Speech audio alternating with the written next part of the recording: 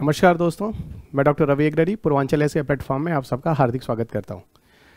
जैसा कि आप सब जानते हैं, पूर्वांचल आई एक मूल्य एजुकेशन प्लेटफॉर्म है, जहाँ हम फ्री ऑनलाइन कक्षाएँ आप सबको निःशुल्क देते हैं। यहाँ पर कोई पेन ड्राइव, कोई भी टैबलेट या कोई भी लाइव क्लासेस हम आपको सेल आउट नहीं कर रहे। और दूसरी सबसे बड़ी बात यह जो ऑनलाइन प्लेटफॉर्म है, इसके साथ एक इकोनॉमिकल इंस्टीट्यूट भी है, जो पूर्वांचल आई के नाम से ही हमने सेटअप भी किया है, खासतौर से आर्थिक रूप से कमज़ोर विद्यार्थियों के लिए। और महिला विद्यार्थियों के लिए। ये दो हमारे फोकस जनता है इवन अपने हैं, जो जैसे महिलाएँ हैं तो उन्हें दिल्ली जैसी जगहों पे जाने में या फिर हैदराबाद, बेंगलुरु, चेन्नई में, जैसे उनके गार्जियंस को कुछ ना कुछ सिक्योरिटी इशू रहता है ऑफकोर्स रहता है, जो समाज और जो आजकल माहौल है। और हैवी फ़ीस और रहना खाना जो इतना काफ़ी महँगा है। सो हम कोशिश करते हैं, अगर आप पूर्वांचल के ही हैं, आप आसपास के एरिया के हैं, गोरखपुर और आसपास रहते हैं तो आप कहीं इलाहाबाद या कहीं आपको बाहर जाने की ज़रूरत नहीं, आप घर में ही रह के तैयारी कर सकते हैं। सो फेस टू फेस कक्षा एक इकोनॉमिकल इंस्टीट्यूट के फॉर्म में हमने स्थापित किया है। अगर आप इच्छुक हैं तो आप वहाँ भी जाकर पढ़ सकते हैं। हम वही दिल्ली के अध्यापक हैं, जो किसी नामी कामी संस्थाओं में पढ़ाते हैं, वहाँ आकर आपको फेस टू फेस कक्षाएँ देते हैं। अगर आप उससे जुड़ा कोई भी डिस्कशन करना चाहते हैं या बातचीत करना चाहते हैं तो इसमें दिए गए नंबर हैं जिनमें आप संपर्क कर सकते हैं। सो so, हाइए दोस्त ये रहा एक इंट्रोडक्शन पूर्वांचल आई का जो पिछले तीन सालों से हमने एक फेस टू फेस कक्षा स्थापित की है। ऑनलाइन प्लेटफॉर्म हम समय के साथ आगे बढ़ रहे हैं और पूरी कक्षाएँ आपको धीरे धीरे हम इसमें देते जा रहे हैं। और काफ़ी वीडियोस हैं जैसे एथिक्स का वीडियो है पूरा हो चुका है। थोड़े बहुत कुछ केस स्टडीज़ चल रहे हैं। लेटर ऑन इंटरनल इंटरनल वो क्या बोलते हैं इंटरनेशनल रिलेशन है ओके okay, uh, हिंदी में इंटरनेशनल रिलेशन हिंदी में है। उसके भी वीडियोस अपलोडेड हैं उसके अलावा आंसर राइटिंग भी है। प्लस अभी एक एथिक्स uh, के बाद काजल मैम ही आपके लिए वर्ल्ड uh, हिस्ट्री की क्लासेस लेकर आ रही हैं। वहाँ पे भी हम हिंदी इंग्लिश दोनों मीडियम में हम आपको कक्षाएँ दे रहे हैं। इन्वायरमेंट की वीडियोज़ ऑलरेडी उन्नीस वीडियो हिंदी में अपलोड हो चुके हैं। और अठारह इंग्लिश में। धीरे धीरे हम उसे भी बढ़ाते रहेंगे क्योंकि थोड़ा सा करंट अफेयर्स का सेशन है तो इस समय काफ़ी कॉल और मैसेजेस आ रहे हैं जो कि करंट अफेयर्स को लेकर हैं। तो कुछ दिन में करंट अफेयर्स सेशन होने ही वाला है क्योंकि अक्टूबर पे हम पहुँचने वाले हैं यहाँ पर। आ, पहुँच गए हैं एटलीस्ट तो आइए दोस्त हम अक्टूबर शुरू करते हैं। सो अब हमसे जुड़े रहें और लगातार हमें अपनी प्रतिक्रियाएँ या जो भी जिस तरह की चीज़ें हैं वो आप हमें बताते रहें ताकि हम आपके लिए और बेहतर कर सकें। सो आइए दोस्त हम अब शुरू करते हैं और आप जानते हैं कि हम साइंस एंड टेक की कड़ी से जुड़े हुए हैं और हम जुलाई से लेकर आगे बढ़ रहे हैं ओके? और जुलाई से बढ़ते हुए हम जुलाई 2019 अगस्त 2019 और सितंबर 2019 हमने पूरा कर लिया है। सो so, अब हम आगे बढ़ते हैं। अक्टूबर 2019 में जो भी करंट अफेयर्स रहा है यानी हमारे 2020 के प्रारंभिक और मुख्य परीक्षा के लिए। ओके इन वीडियोस को आप हिफाजत से रखें। इन्हीं वीडियोस पे मैं आधारित आपको मेंस के प्रश्न भी बनाऊँगा प्रीलिम्स के बाद। सो so, आप उसको भी तैयार कर लेंगे तो साइंस टेक में ऑन एन एवरेज आपकी एक तैयारी हो जाएगी। सो so, कैसे करेंगे मेंस वो बाद में बात करेंगे। आइए दोस्त तो हम अक्टूबर 2019 का करेंट अफेयर्स मंथ में क्या क्या रहा है? और जो 2020 के एग्ज़ाम के लिए अब चाहे आप यूपीएससी दे रहे हो या किसी भी स्टेट पीसीएस एग्ज़ाम दे रहे हो जो अब होने वाले हैं उन सारे एग्ज़ाम्स में ये करंट अफेयर्स अपडेट्स आपके लिए यूज़फुल रहेंगे। तो इन्हें आप सुनना ना भूलें। और एटलीस्ट मैं आपको फिर बोलूँगा, इस जो भी पीडीएफ है, जो मैं आपको यहाँ पढ़ा रहा हूँ, ये सारे के सारे पीडीएफ पूर्वांचल आई के टेलीग्राम ग्रुप पर ऑलरेडी हैं। तो काइंडली आप वहाँ से पे वहाँ पर आप सब्सक्राइब हो जाए और वहाँ से ये सारे के सारे पीडीएफ सीधा आप डाउनलोड कर लें। So personally P D F भेज पाना इज़ वेरी डिफ़िकल्ट तो वो टेलीग्राम ग्रुप है। आप पूर्वांचल आई में वहाँ पर जुड़े रहे। और साथ ही साथ जो मेरा फेसबुक पेज है पूर्वांचल आई का ले लो, आप चाहे डॉक्टर रवि अग्रही ले लो, दोनों जगहों पर हम ये सारे वीडियोज़ के लिंक सारे के सारे शेयर करते रहते हैं ऑर्डर वाइज तो आपके पास ये बहुत सारे प्लेटफॉर्म है, जिन प्लेटफॉर्म को यूज़ करते हैं, उनको आप कंटिन्यू रखें, उनसे आप जुड़ सकते हैं। अगर आप टेलीग्राम पे हैं कंफर्टेबल फेसबुक पे हैं कंफर्टेबल क्योंकि सोशल मीडिया एक बहुत अच्छा तरीका है, जिससे हम अपनी चीज़ों को आप तक आसानी से पहुँचा सकते हैं। क्योंकि पर्सनली एक टू एक वन टू वन कॉल करना, फिर लोगों को बताना इज़ वेरी डिफ़िकल्ट तो आप वहाँ पर रहें ओके और मुझे बहुत ज़्यादा फॉलोअर बनाने की ज़रूरत नहीं है। आप इन चैनल्स को सब्सक्राइब करें और इनको सुनते रहें ओके आपके सजेशन हमें ज़रूर देते रहेंगे दोस्त। सो आइए बात करते हैं हम अक्टूबर 2019 में। मैं doctor Ravi Agrahari as author of McGraw Hill publication और एक economical institution as a director of Purvanchal आई जो मैंने सेटअप किया है। बाकी यार अब क्लास वगैरह या कुछ कंटेंट मटेरियल से रिलेटेड बात करना चाहते हैं तो लास्ट में बात करेंगे। दिया गया नंबर है आप इस पर संपर्क कर सकते हैं। और अगर आप गोरखपुरी आसपास रहते हैं तो डेफिनेटली आपको आना चाहिए इंस्टीट्यूशन में और आप हमसे वहाँ मिल सकते हैं। सो so, ये दोस्त बुक है जो मैं आपको शुरुआत में ही बताता हूँ कि आपकी प्रिपरेशन में दो चीज़ें ज़रूरी होती हैं। एक तो सब्जेक्ट का स्टैटिक पार्ट ओके यानी सब्जेक्ट विषय के बारे में और दूसरा उससे जुड़ा हुआ करंट अफेयर्स यानी उसकी समसामयिकी। सो स्टैटिक पार्ट के लिए ये बुक आपका है और पूरा हर साल ये बुक मैं अपडेट करता रहता हूँ जितने करंट अफेयर्स अपडेट्स आते हैं। सो so, अभी आप अगर 2020 के एग्ज़ाम्स के लिए जा रहे हैं तो इस बुक को आप अपने साथ रखें। ओके okay, इसका सारा स्टैटिक और करंट अपडेट्स ऑलरेडी है और बाकी जो नए करंट अफेयर्स जो अपडेशंस हैं वो मैं आपको यहाँ करा ही रहा हूँ। ओके okay, और 2021 के लिए एक नई बुक की कवर आ गई है जो मैग्रा हिल ने रिलीज़ कर दिया है। सो so, मैं आपको दिखा दूँ ये वो फोर्थ एडिशन बुक है जो साइंस एंड टेक की है जो हिंदी इंग्लिश दोनों में सेम है सेम ट्रांसलेटेड मटेरियल होता है। सो so, ये आपको आगे आने वाले पेपर के लिए होगा लेकिन अभी जो अवेलेबल है वो यही बुक है। आप इस बुक को ले लें। अब ई um, बुक्स वगैरह भी अवेलेबल होंगे आपको मार्केट में। जैसे कोरोना uh, वगैरह का इम्पैक्ट है तो बुक को अमेजोन डिलीवरी भी इस समय दिक्कत हो रही है। तो इस तरह की ये चौथे एडिशन की बुक भी जो है ये भी आपको किंडल पे भी मिल जाएगी ई बुक वगैरह के फॉर्म में मिलेगी। तो आप इसके लिए आप दिए गए नंबर पर मैग्रा हिल से आप संपर्क कर सकते हैं। सो so, आइए दोस्त बात करते हैं और आप जानते हैं किन चैप्टर्स को लेके हम लोग इंटायर साइंस एंड टेक को कवर कर रहे हैं। तो शुरुआत में क्योंकि काफ़ी लोग मुझसे अभी जुड़ रहे हैं तो फिर ये गलत आप कर रहे हैं। आप जुलाई से स्टार्ट करें करंट अफेयर्स के लिए। और साइंस एंड टेक के ठीक कंप्लीशन के बाद मैं आपको इन्वायरमेंट पर आऊँगा। और अगर उसके बाद भी टाइम मिला तो मैं और विषयों के करंट अफेयर्स भी जुलाई से आपको बना दूँगा। सो so, जो पूर्वांचल आइस के विद्यार्थी हैं जो ऑलरेडी कोचिंग अभी फेस टू फेस क्लासेस नहीं चल रही हैं तो उनके लिए भी ये वीडियोस है तो आप सबके लिए निःशुल्क है। आप इसको यूज़ करें। सो so, इन्हीं चैप्टर्स पे बेस्ड स्टैटिक और इन्हीं का करंट अफेयर्स है। जो आपको पूरी तरह से पढ़ना है। सो so, देखिएगा कौन कौन से चैप्टर्स हैं? एक तो science and technology in India Bharat में। दूसरा ऊर्जा तीसरा अंतरिक्ष तकनीकी चौथा संचार सूचना तकनीकी पाँचवा प्रतिरक्षा तकनीकी छठा जो है वो इंटेलेक्चुअल प्रॉपर्टी राइट्स सातवां है कड़ भौतिकी पार्टिकल फिजिक्स सातवां कृत्रिम बुद्धि लब्धता रोबोटिक्स और नैनो तकनीकी।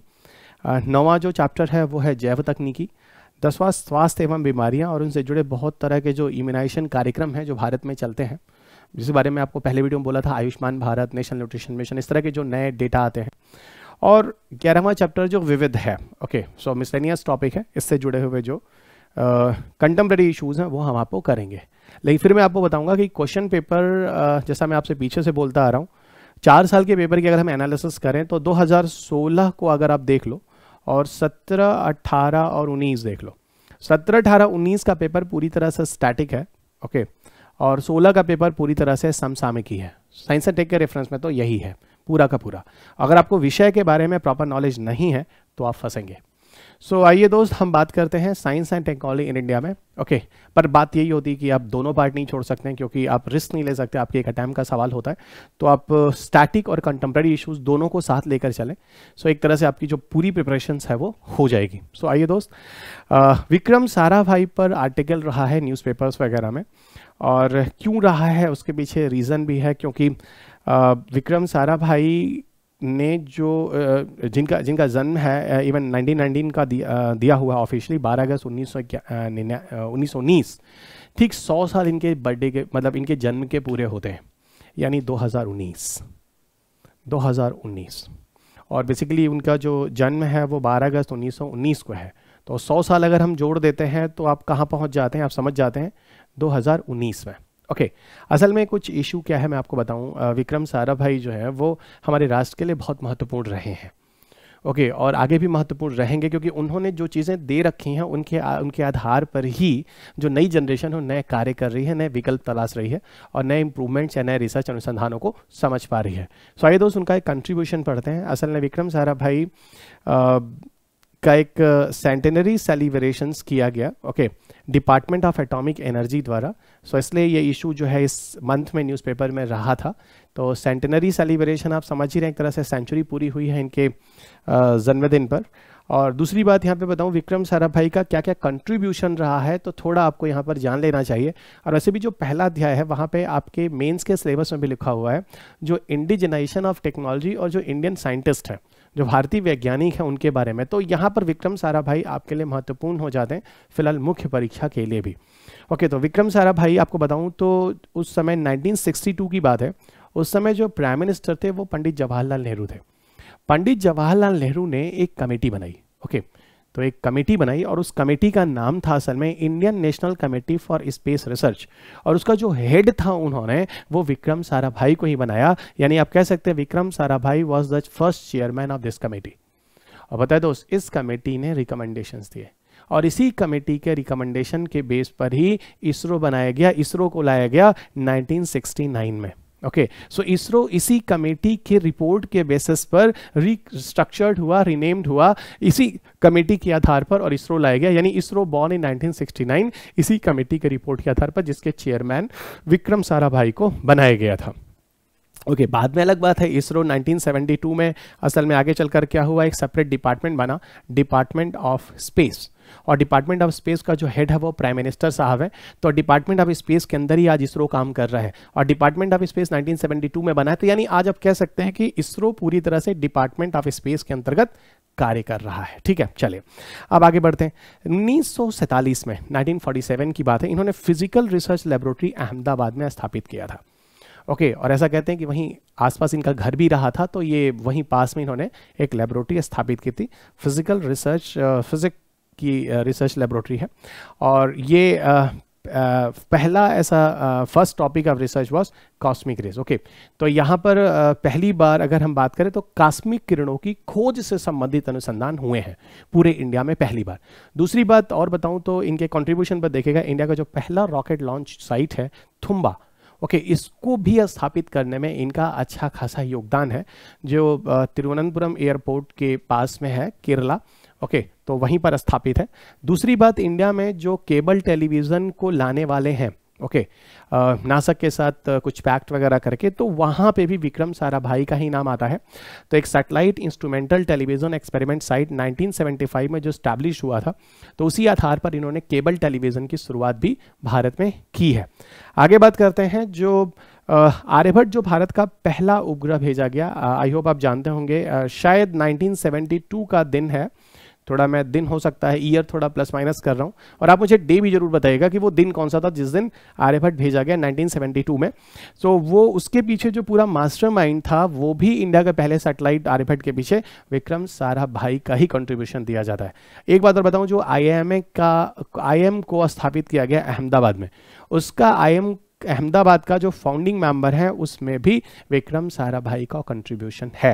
विक्रम साराभाई के बारे में बताऊँ इन इनके इस तरह के कार्य के लिए इन्हें पद्म भूषण दिया गया 1966 में और पद्म विभूषण दिया गया 1972 में। दो तीन साल पहले मैंने यूपी पीसीएस में क्वेश्चन देखा आ, जो हाईएस्ट सिविलियन अवार्ड है उनकी रैंकिंग पर। ओके okay, तो मेरी आदत होती है जब मैं पढ़ाता हूँ तो वो क्वेश्चन पेपर जो मैंने कहीं ना कहीं देखे हैं वो आपके साथ शेयर करता हूँ। तो चलिए दोस्त पहले उस पर थोड़ी सी बात कर लेते हैं। It will take hardly ten ten seconds तो भारत का सब सर्वाधिक सबसे हाई जो सिविलियन अवार्ड है, वो आप सब जानते हैं, भारत रत्न है, ओके? भारत रत्न है that is number one okay? Number two पर आप जानते होंगे that is a Padma Vibhushan जो यहाँ लिखा हुआ है। नंबर टू पे पद्म विभूषण है। नंबर थ्री जो रैंक पर आता है वो पद्म भूषण है और नंबर चार पर जो होता है वो आप जानते होंगे दैट इज़ पद्म श्री है। तो ऐसा चार डबल ही लिखिए या ऐसा आर आई लिखिए। तो ये चार हैं। तो यहाँ पर सेकेंड और थर्ड जो हाईएस्ट सिविलियन अवार्ड है, ये इनको मिला है विक्रम सारा भाई को। ओके आगे बढ़ते हैं, इसी चैप्टर से जुड़ा जो दूसरा कंसेप्ट है करंट अफेयर्स में यूथ को लैब के बारे में। यूथ को लैब एक, के बारे में अगर बात करें तो यूथ कोलैब की जो स्थापना है ओके इसके पीछे वो अटल इनोवेशन मिशन है नीति आयोग है और यूएनडीपी है इंडिया यूएनडीपी इंडिया ओके। ये तीनों ने मिलकर ज्वाइंटली है ना यूथ कोलैब लॉन्च किया है। अब यूथ कोलैब यूथ को, को का कोऑपरेशन है साथ साथ लाना है और लैब स्थापित करना है। तो यूथ जो होगा एक तरह से एक नया इंटरप्रेनरशिप की बात हो रही है ओके एक नए तरह के आ, काम करने की बात हो रही है उद्योग में आने की बात हो रही है नए तरह के अनुसंधान की बात हो रही है यानी इनोवेशन की बात हो रही है। पीछे भी हम लोगों ने काफ़ी इस तरह के इंस्पायर प्रोग्राम इस तरह की बातें की हैं ओके सो उसी तरह की बात यहाँ पर भी हो रही है जिसको यूथ को लैब का नाम दिया गया ओके यहाँ पे करना क्या है? तो इसमें दो पॉइंट्स है ये कैसे काम करेगा? जनरली हम लोग जो यंग यंग पीपल हैं जो नए लोग हैं जनरली 18 से 29 वर्ष के जो लोग हैं एज ग्रुप के हैं। ओके okay, उनको जनरली जो स्टार्टअप वगैरह करने के लिए हम क्या करेंगे उनको प्रेरित करेंगे और उनके जो अपने आइडियाज़ वगैरह होंगे उनके आइडियाज़ के बेसिस पर ठीक है स्पेशली जो आइडियाज़ और जो चीज़ें ये अपनाएँगे जिसके आधार पर ये यूथ वगैरह जो काम कर रहे हैं जिनको हम इन्वाइट कर रहे हैं वो किसी ना किसी सोशल एस्पेक्ट से रिलेटेड होगा यानी समाज से जुड़े हुए किसी ना किसी तरीके से मतलब सामाजिक हो यानी कह लीजिए कि समाज में रहने वाले लोगों के लिए वो फ़ायदेमंद होगा। एक तो ये पॉइंट है। दूसरा ये है कि जो यंग एंटरप्रेनरशिप है, जो इनोवेटर्स हैं, उनको हम यहाँ पर चांस देने की बात कर रहे हैं। उनको सरकार से डिफरेंट तरह के मेंटर्स से या इंक्यूबेटर्स वगैरह से जहाँ पर एक्सपेरिमेंट किए जा सकते हैं। इन्वेस्टर्स से जो इन्वेस्ट कर सकते हैं, जो किसी इंडस्ट्रीज़ से जुड़े लोग हो सकते हैं, है ना? जो है ना, इस तरह की चीज़ें हैं। इन चीज़ों, इन लोगों की हेल्प से, है ना, हम क्या करेंगे? इन यूथ के नए इनोवेशंस को बूस्टअप करने का की कोशिश करेंगे। यानी जो उनके इंटरप्रेन्योरल जो स्किल है है ना, उनकी अपनी जो काबिलियत है, उसको बढ़ाने की कोशिश करेंगे। तो ये पूरा का पूरा यूथ को लैब है, जहाँ पर यूथ को आगे बढ़ाने की बात हो रही है। और ये पूरा का पूरा जो प्रोविज़न है यूथ को लैब जिसको अटल इनोवेशन मिशन नीति आयोग और यूएनडीबी इंडिया साथ मिलकर लाया है। पहले फ़ेज़ में छह सस्टेनेबल गोल जो है ना सस्टेनेबल डेवलपमेंट गोल जो है है ना, उन्हीं छह सस्टेनेबल डेवलपमेंट गोल और भी हैं ओके लेकिन यहाँ पर छह सस्टेनेबल गोल से जुड़े हुए यूथ को लैब जो होगा, वो उन पर फोकस होकर काम करेगा। वो कौन कौन से हैं? Sustainable development goal number five जो जेंडर इक्वलिटी की बात करता है. नंबर सिक्स जो क्लीन वाटर और सैनिटेशन की बात करता है. सेवन जो एफोर्डेबल और क्लीन एनर्जी की बात करता है. सस्टेनेबल डेवलपमेंट गोल आठ, जो डिसेंट वर्क इकोनॉमिक ग्रोथ की बात करता है. सस्टेनेबल डेवलपमेंट बारह सस्टेनेबल कंजम्पशन और प्रोडक्शन की बात करता है और सस्टेनेबल डेवलपमेंट गोल तेरह, जो क्लाइमेट एक्शन की बात करता है। तो इन मुद्दों से जुड़े हुए जितने भी कार्य होंगे, उन पर यह फोकस रहेगा और ये अपने नए इनोवेशन वगैरह करता रहेगा। इनोवेशन प्लेटफॉर्म जो होगा, कहीं ना कहीं एक तरह के नए आइडियाज़ देगा और जो क्षमताएँ होंगी जो यूथ की, उनको निखारने की कोशिश करेगा। फ़िलहाल इस तरह की चीज़ें काफ़ी पहले ही यूएनडीपी द्वारा लाया जा चुका है और बहुत सारे राष्ट्र हैं तो आपस में ऑपरेशनल है इस तरह की चीज़ें, एशिया पैसिफिक रीजन वगैरह में जो काम कर रहे हैं। तो ठीक है, इसका पूरा का पूरा जो एम हो गया, वो यही हो गया कि पूरी तरह से कि हम यूथ को यहाँ एज अ लीडरशिप जो है, हम उनको प्रमोट करेंगे और नए इनोवेशन वगैरह करेंगे सोशल एंटरप्रेनरशिप की बात करेंगे तो सामाजिक लेवल पर उनके, उनको उनको, उनका कंट्रीब्यूशन हो सके। तो ये यूथ को लैब है, मेरे ख्याल से आप इसे ध्यान रखेंगे, जो इनका मेजर पॉइंट है, मैंने डिस्कस कर दिया। सेकंड चैप्टर पर आते हैं एनर्जी में। पहले चैप्टर से जुड़े जितने भी ऑस्पेक्ट है, वो हमने यहाँ बात कर लिए हैं। Microbial fuel cell microbial fuel cell अगर हम आपको बताएँ तो माइक्रोबियल फ्यूल सेल दो हज़ार बारह के प्रारंभिक परीक्षा में क्वेश्चन रहा है। ओके और यही माइक्रोबियल फ्यूजल आप देखिएगा यही क्वेश्चन 2015 में फिर आया है और इस बार फ्यूल सेल के नाम से आया था। अगर आप मुझे पीछे से फॉलो कर रहे हैं तो मैं आपको बोलूँगा, आप सितंबर मंथ का current affairs science and tech का ज़रूर सुनिएगा। वहाँ मैंने आपको फ्यूल सेल और माइक्रोबियल फ्यूल सेल को समझाने की कोशिश की है। ओके फ्यूल सेल तो मैंने आपको अच्छी तरीके से समझाया था। हाई टेम्परेचर फ्यूल सेल वाला कंसेप्ट भी वहाँ पर बताया था आपको सितंबर मंथ के करंट अफेयर्स में। अब हम आते हैं माइक्रोबियल फ्यूल सेल में। देखिए माइक्रोबियल फ्यूल सेल के केस में क्या है, मैं आपको बताऊँ। हाल ही में माइक्रोबियल फ्यूल सेल न्यूज़ में क्यों रहा? उस इशू पे बात करेंगे। 2012 में जो प्रश्न रहा वो स्टैटिक था माइक्रोबियल फ्यूल सेल एमएफसी का क्वेश्चन था और 2015 में जो क्वेश्चन था वो फ्यूल सेल क्या था, है ना? प्रॉपर फ्यूल सेल का था, जिसे आप हाइड्रोजन फ्यूल सेल भी कह सकते हैं। क्योंकि फ्यूल सेल में जो हम ईंधन प्रयोग में लाते हैं, वो हाइड्रोजन ही एज ईंधन को के रूप में प्रयोग में लाते हैं। अब देखेगा माइक्रोबियल फ्यूल सेल जो इंस्टॉल किया गया था इस महीने में न्यूज़ में रहा था, वो लंदन के जू में स्थापित किया गया, इसलिए माइक्रोबियल फ्यूल सेल न्यूज़ में रहा था। ओके okay, और दूसरा बोलूँ यहाँ पर बॉटनिकल वर्ड फ़र्स्ट सेल्फी वगैरह जो लिया गया ठीक है कि किस तरीके से जो पौधे होते हैं किस तरीके से जो उनके अंदर के सेल्स होते हैं वो माइक्रोबियल फ्यूल सेल से के रूप में काम कर रहे हैं ठीक है? तो यही हम लोग यहाँ पर छोटी सी बात करने वाले फ़िलहाल इसके बारे में बहुत ज़्यादा डिटेल में ऐसा कुछ नहीं है तो इनको संक्षेप में करके निकलेंगे लेकिन माइक्रोबियल फ्यूल सेल का कंसेप्ट थोड़ा सा आपको समझना होगा। अच्छा असल में जनरली होता क्या है? जनरली क्या होता है जो पौधे होते हैं ओके या यहाँ पर अगर हम बात करें तो आप खुद जानते हैं कि पौधे जनरली फोटोसिंथेसिस कर भोजन बनाते हैं, ठीक है? एवरीबडी नो और पौधे जो भोजन भोजन बनाते हैं, वो शुगर के फार्म में बनाते हैं, जो पौधे वगैरह अपना उनको स्टोर करते हैं स्टार्च के फार्म में। और आपको यही बताऊँ कि ये कुछ शुगर ऐसे होते हैं, जो पौधों के रूट्स वगैरह से सिक्रीट होते हैं, ठीक है? तो शुगर वगैरह एक्सक्रीट होते हैं उनकी जड़ों वगैरह से एज अ वेस्ट के फॉर्म में।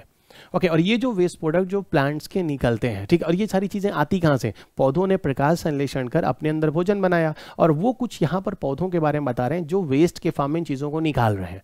ठीक है, आपने बहुत चीज़ें सुनी होंगी जो पौधों के सिक्रीशंस होते हैं। जैसे आपने गम सुना होगा, जो गोंद निकलता है लेटेक्स वगैरह के फॉर्म में। ओके इस तरह से रेजिन निकलता है, ठीक है, जिससे आप लोग वो हींग जो हम घरों में यूज़ करते हैं, वो भी पौधे के सिक्रीशंस होते हैं। इन चीज़ों को पौधे एज अ बाई प्रोडक्ट्स भी बोल सकते हैं जिनको बनाते हैं, निकालते हैं डिफरेंट तरह के प्रोडक्ट्स होते हैं। तो वही मैं कह रहा हूँ कि यहाँ पर जो पौधे प्रकाश संश्लेषण कर, जो शुगर वगैरह बनाते हैं, पत्तियों वगैरह में, वो कहीं ना कहीं प्रोसेस के थ्रू है ना? यही बता रहा हूँ कि जड़ों वगैरह से वो सिक्रीट होते हैं स्क्रीट हो जाते हैं। और एज अ वेस्ट के फॉर्म में होते हैं। असल में वहाँ पर क्या होता है? माइक्रो ऑर्गेनिजम्स पाए जाते हैं। कहाँ? उस सॉइल में माइक्रोनिज्म पाए जाते हैं। वो एसकीटी प्रोडक्ट्स को क्या करते हैं? वहाँ पर तोड़ते हैं।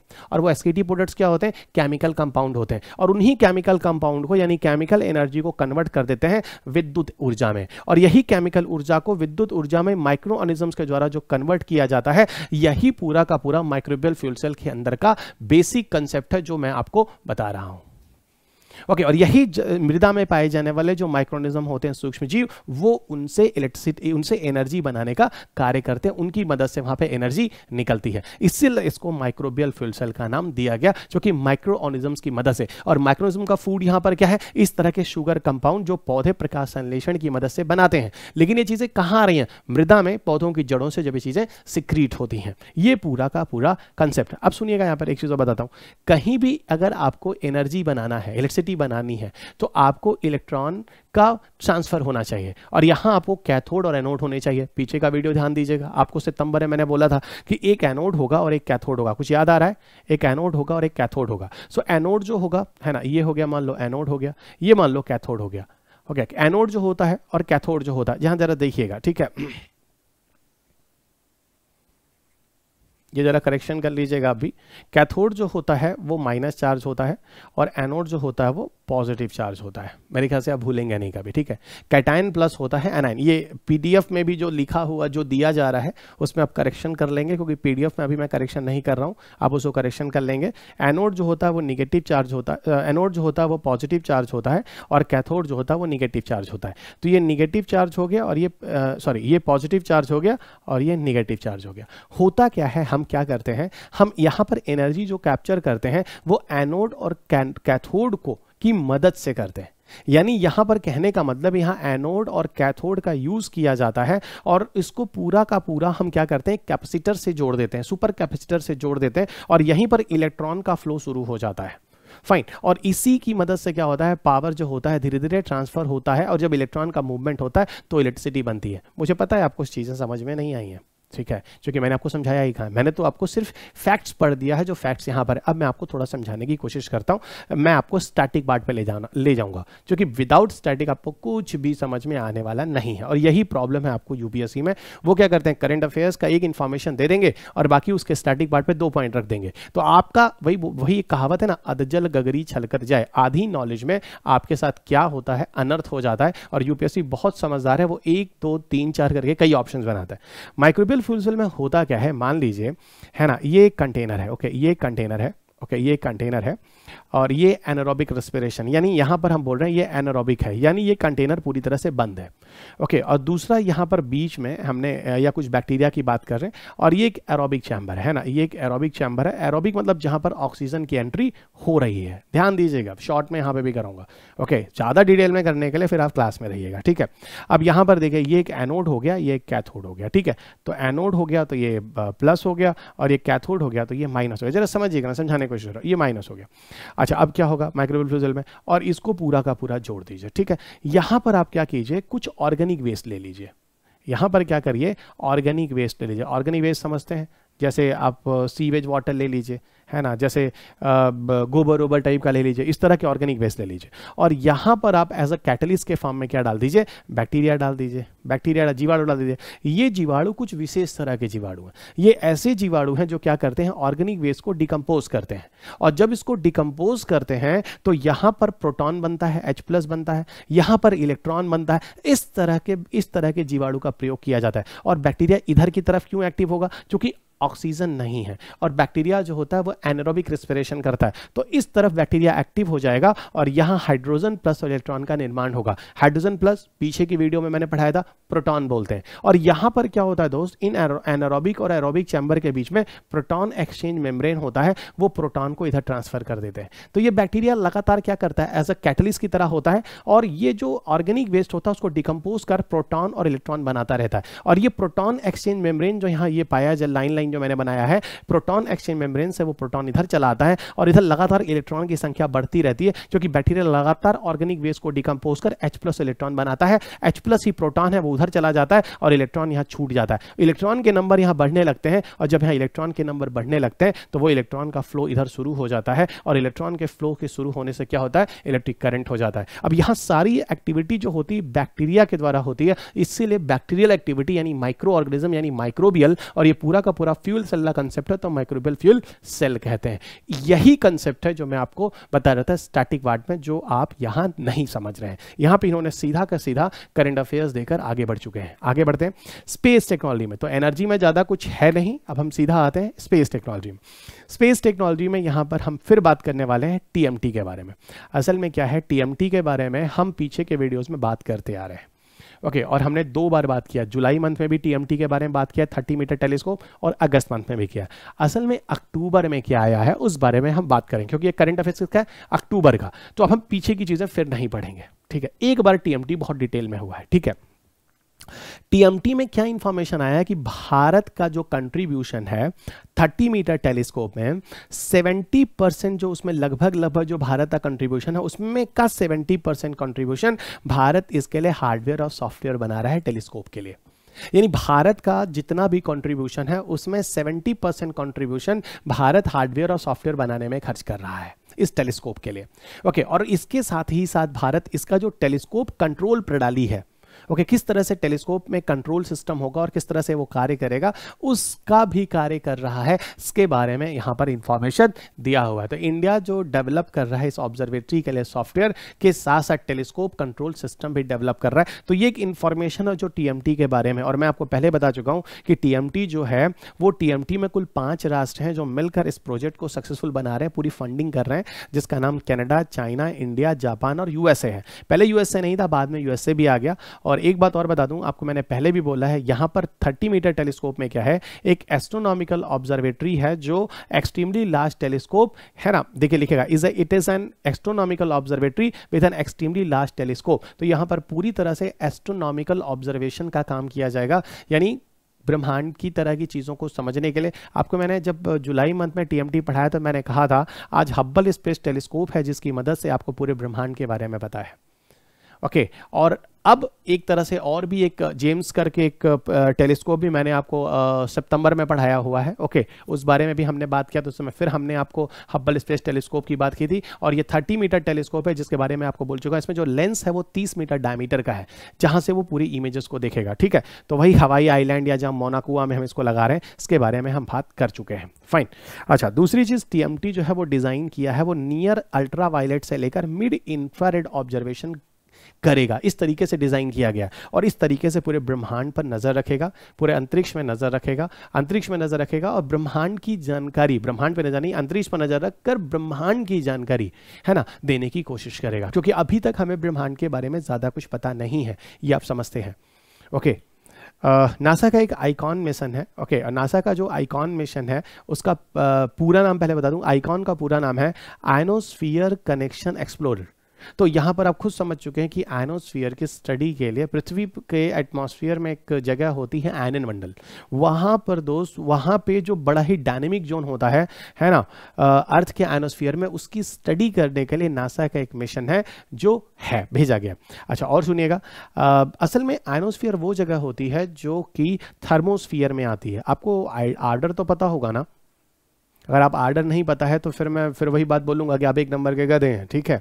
कि अभी आप प्रिलिम्स देने जा रहे हैं और आपको अभी ये नहीं पता कि सबसे नीचे ट्रोपोस्फियर होता है, फिर स्टेटोस्फियर होता है, यानी क्षोभ मंडल, फिर समताप मंडल, फिर ट्रोपोस्फियर स्टेटोस्फियर मीजोफियर फिर थर्मोस्फियर और थर्मोस्फियर ऐसी जगह हो जाती है जहाँ टेम्परेचर इतना ज़्यादा हो जाता है कि अगर कोई एलिमेंट वगैरह होते हैं गैस होते हैं तो वो आयनाइज हो जाते हैं। इसीलिए थर्मोस्फियर में जब टेम्परेचर बहुत ज़्यादा बढ़ जाता है तो उस एरिया को, उस जगह को हम आयन मंडल या आयनोस्फियर कहने लगते हैं। और आयनोस्फियर वगैरह में आयन और चार्जेस होते हैं। तो वही मैं कह रहा ये मिशन जो है पूरी तरह से आपको बताऊँ आईकॉन मिशन ये ओके okay, ये यूनिवर्सिटी ऑफ़ कैलिफ़ोर्निया का एक मिशन है जो ऑपरेटेड है ओके okay, और ये पूरी तरह से एनोस्फियर की स्टडी के लिए है। तो नासा आइकॉन मिशन आप ध्यान रखेंगे इस नाम को ध्यान रखेंगे एनोस्फियर कनेक्शन एक्सप्लोरर इस तरह की बात। है एक बार एक बार क्वेश्चन पूछा 2015 में कि दो हज़ार के आसपास ओके okay, लेकिन इस टॉपिक को मैंने एस्ट्रोनॉमी के चैप्टर में दिया है। ओके okay, इस टॉपिक को अगर आप गलती से जो मैं वर्ड यूज़ करता हूँ अगर आप साइंस टेक वाली बुक पढ़ेंगे थर्ड एडिशन में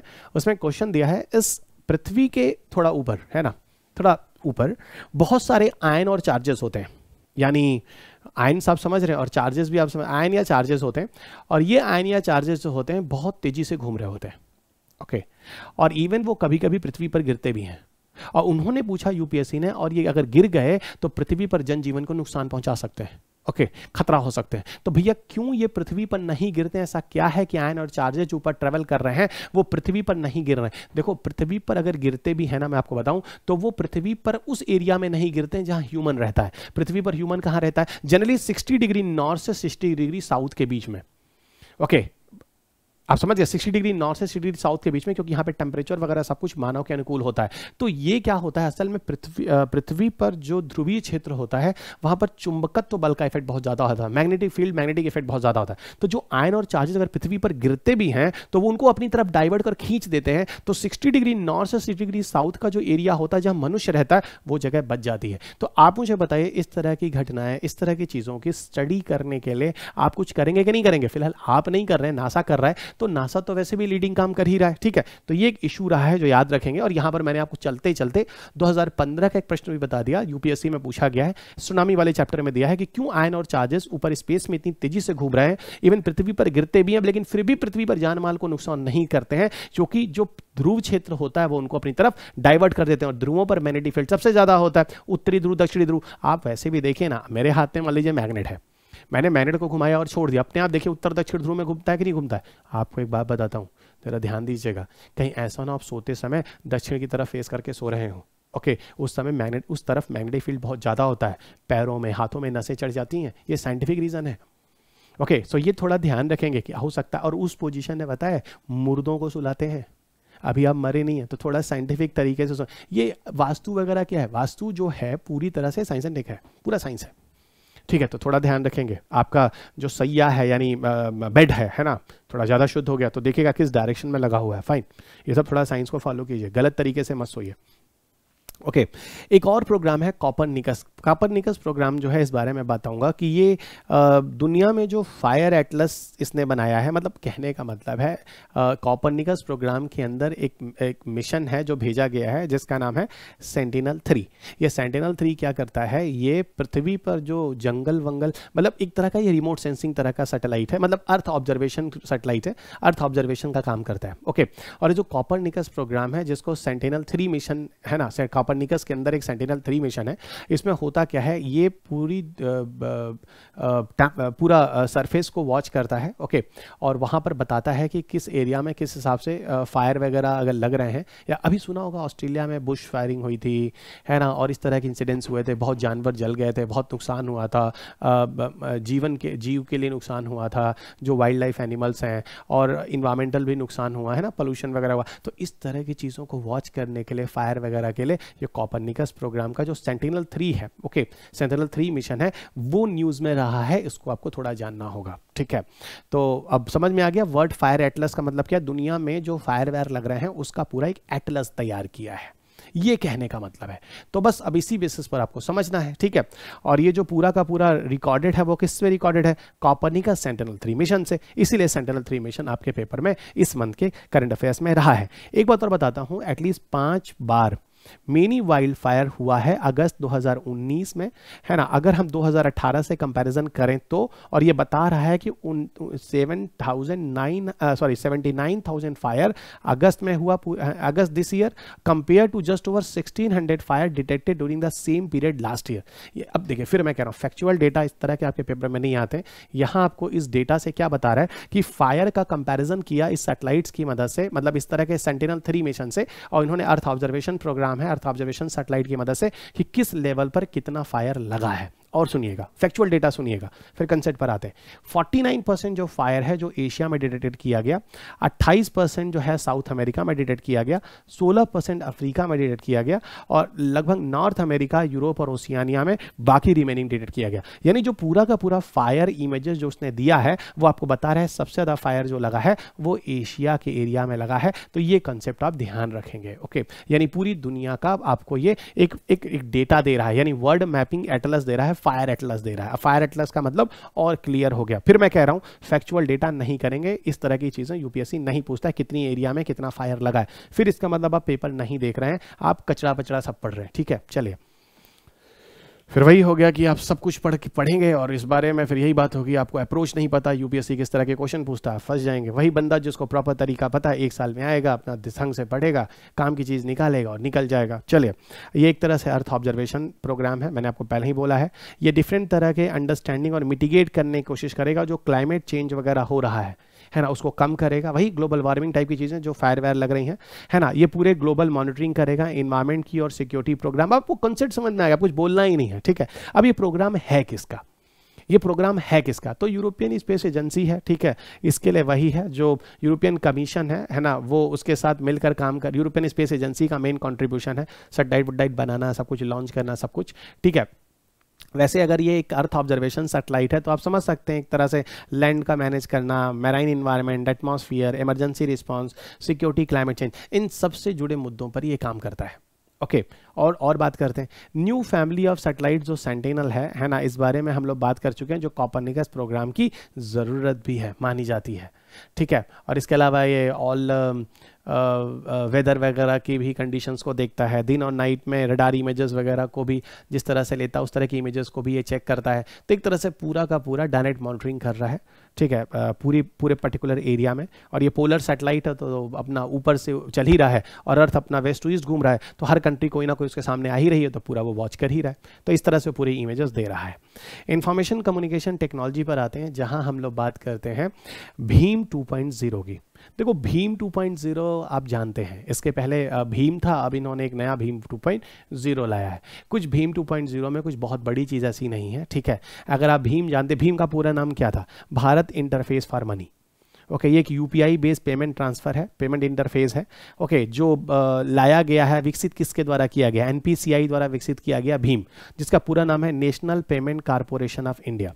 तो भी मैं आपको कौन लेकर आया? National payment corporation of India और ये जो ट्रांसफ़र जो डेवलप हुआ है, भीम जो लाया गया, वो दिसंबर 2016 में, आप जानते हैं जब डीमोनेटाइजेशन वाला इशू हुआ था, उसी समय ये भीम ऐप को लाया गया था, सरकार ने अपना लाया था। होता क्या रियल टाइम फंड ट्रांसफ़र तो ये फंड वगैरह ट्रांसफ़र करने का काम करता है, ठीक है? इसमें है क्या? पूरी कहानी सुनिएगा। असल में अभी तक जो फंड ट्रांसफ़र है, उसकी लिमिट थी। भीम 2.2 में 2.0 में इसको हमने ट्रांजेक्शन लिमिट को हाई वैल्यू ट्रांजेक्शन में चेंज कर दिया है। यानी अब अधिक लेवल तक भी ट्रांजेक्शन कर सकते हैं। तो वही पूरी कहानी है। ठीक है, इसमें मल्टीपल बैंक के अकाउंट्स को लिंक किया गया है। फाइन तो इससे ज़्यादा इसमें कुछ ऐसा है नहीं। और एक बात और बताऊँ, अभी तक जो भीम ऐप था, वो तेरह है ना लैंग्वेजेस में था करीब करीब जो इंफॉर्मेशन uh, था और कुछ नए लैंग्वेजेस में भी यहाँ भीम 2.0 के फॉर्म में उसको हमने भीम ऐप को मतलब शुरू किया है जिसमें कोनकनी भोजपुरी और हरियाणवी भी ऐड किया गया है। तो ठीक है रीजनल लैंग्वेजेस में भी भीम ऐप जो है वो काम कर रहा है। और बहुत सारे बैंक को हम यहाँ क्या करते हैं? एक सिंगल मोबाइल एप्लीकेशन के द्वारा जोड़कर और बैंक के द्वारा हम अपना एक यूपीआई ऐप है ही है। उसके द्वारा चाहे एंड्रॉइड हो विंडो हो आई हो, हर बैंक अपना अपना यूपीआई दे ही रहे हैं। उसको आप इंस्टॉल कर लीजिए। और मेरे ख्याल से आप में से जितनी जनता मुझे सुन रहे हैं, आप इसको यूज़ कर रहे हैं। आप मुझसे ज़्यादा जानते हैं। जब आप चीज़ों को यूज़ करते हैं ना तो आप प्रैक्टिकली समझते हैं। ठीक है? तो इस बारे में मुझे नहीं लगता मुझे ज़्यादा बोलने की ज़रूरत है। इंफॉर्मेशन कम्युनिकेशन टेक्नोलॉजी में एक और न्यूज़ रहा है बीएसएनएल और एमटीएनएल को मर्ज करने की। और ठीक है, बहुत दिन से ये दोनों घाटा में चल रहे हैं, ठीक है तो ये चीज़ें भी आपको पता होनी चाहिए। और कोई बहुत बड़ा यहाँ पर ऐसा है नहीं जो क्वेश्चन पेपर बनने वाला है। ठीक है, मैं आपको शॉर्ट में चीज़ों को बता देता हूँ, ठीक है। यूनियन कैबिनेट ने अप्रूव कर दिया है एक रिवाइवल प्लान बी एस के लिए इनको मर्ज कर दिया जाए, ठीक है। और अलॉटमेंट ऑफ़ स्पेक्ट्रम जो फोर सर्विसेज़ के हैं, जो डेप्ट रिस्ट्रक्चरिंग है मतलब जो घाटा वाटा हो चुका उनको फिर से पूरा करने के लिए, ठीक है। इम्प्लाइज का जो कॉस्ट है बहुत ज़्यादा है, क्योंकि इम्प्लाइज इनके पास बहुत ज़्यादा है दोस्त। इवन इतना तो ये रिलायंस एयरटेल और आइडिया और वोडाफोन इनके पास नहीं है, जितना बी एस के पास है और इतना घाटे में है, आप लोग खुद जानते हैं। तो कहीं ना कहीं इनको रिवाइव करने की कोशिश की जा रही है ना? तो मोनेटाइजेशन ऑस्पेक्ट्स भी है एसेट्स है है ना? Principal approval of merger B S अब हम आपको सीधे काम की बात करते हैं, मुद्दे पर आते हैं, ठीक है? अब देखो, यहाँ पर ना इस क्राइसिस को कैसे सॉल्व किया जाए तो ही बोला कि बी एस को मर्ज कर दो। ठीक है और यहाँ पर जनरली पर्पस क्या है कि B S N L and M T N L को एक तरफ़ उसको हम आ, है ना मर्ज करके उसको ज़िंदा रखने की कोशिश करें और दूसरी तरफ़ जो इम्प्लाइज है ना उनको भी हम सुरक्षित रखें कुछ इस तरह से करने का प्रयास है। अब हम आपको कुछ फैक्चुअल डेटा पर आते हैं जो चौंकाने वाला है M T N L B S N L का ठीक है? इधर आइएगा। ओके okay, अब जैसे यहाँ पर है अगर ओवर स्टैंडिंग की बात करें ओवर स्टाफिंग की बात करें तो बीएसएनएल के पास सबसे ज़्यादा स्टाफ है करीब 1.66 लाख है। एमटीएनएल के पास इक्कीस स्टाफ है। ओके तो आप खुद देखिए बी के पास स्टाफ कितना ज़्यादा, और वहीं कहीं आप किसी प्राइवेट प्लेयर देखिए तो करीबन पच्चीस हज़ार से तीस हज़ार हैं। ठीक है तो पच्चीस हज़ार से तीस हज़ार एम्प्लाई आप रिलायंस ले लीजिए, आप एयरटेल ले लीजिए वोडाफोन ले लीजिए आइडिया ले लीजिए मैं बोलेंगे भाई इस हिसाब से एम्प्लाइज है। तो आप खुद देखिए, आपको एम्प्लाई का पेमेंट कितना ज़्यादा करना है। पहली बात। दूसरी बात ह्यूज एक्सपेंसेस है यहाँ पर। और ये देखिए sixty percent of B S N L revenues go towards managing employees expansions expenses और एम टी एन अराउंड सत्तासी परसेंट एक्सपेंसेस अपने इंप्लाइज को पेमेंट देने में कर देता है। है ना? और सुनिएगा और सुनिएगा। अब इंप्लाई कितनी ईमानदारी से काम करते भी देखिएगा मैं आपको बताता हूँ, ठीक है?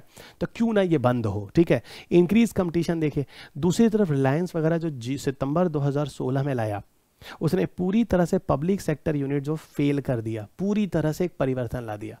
ला दिया।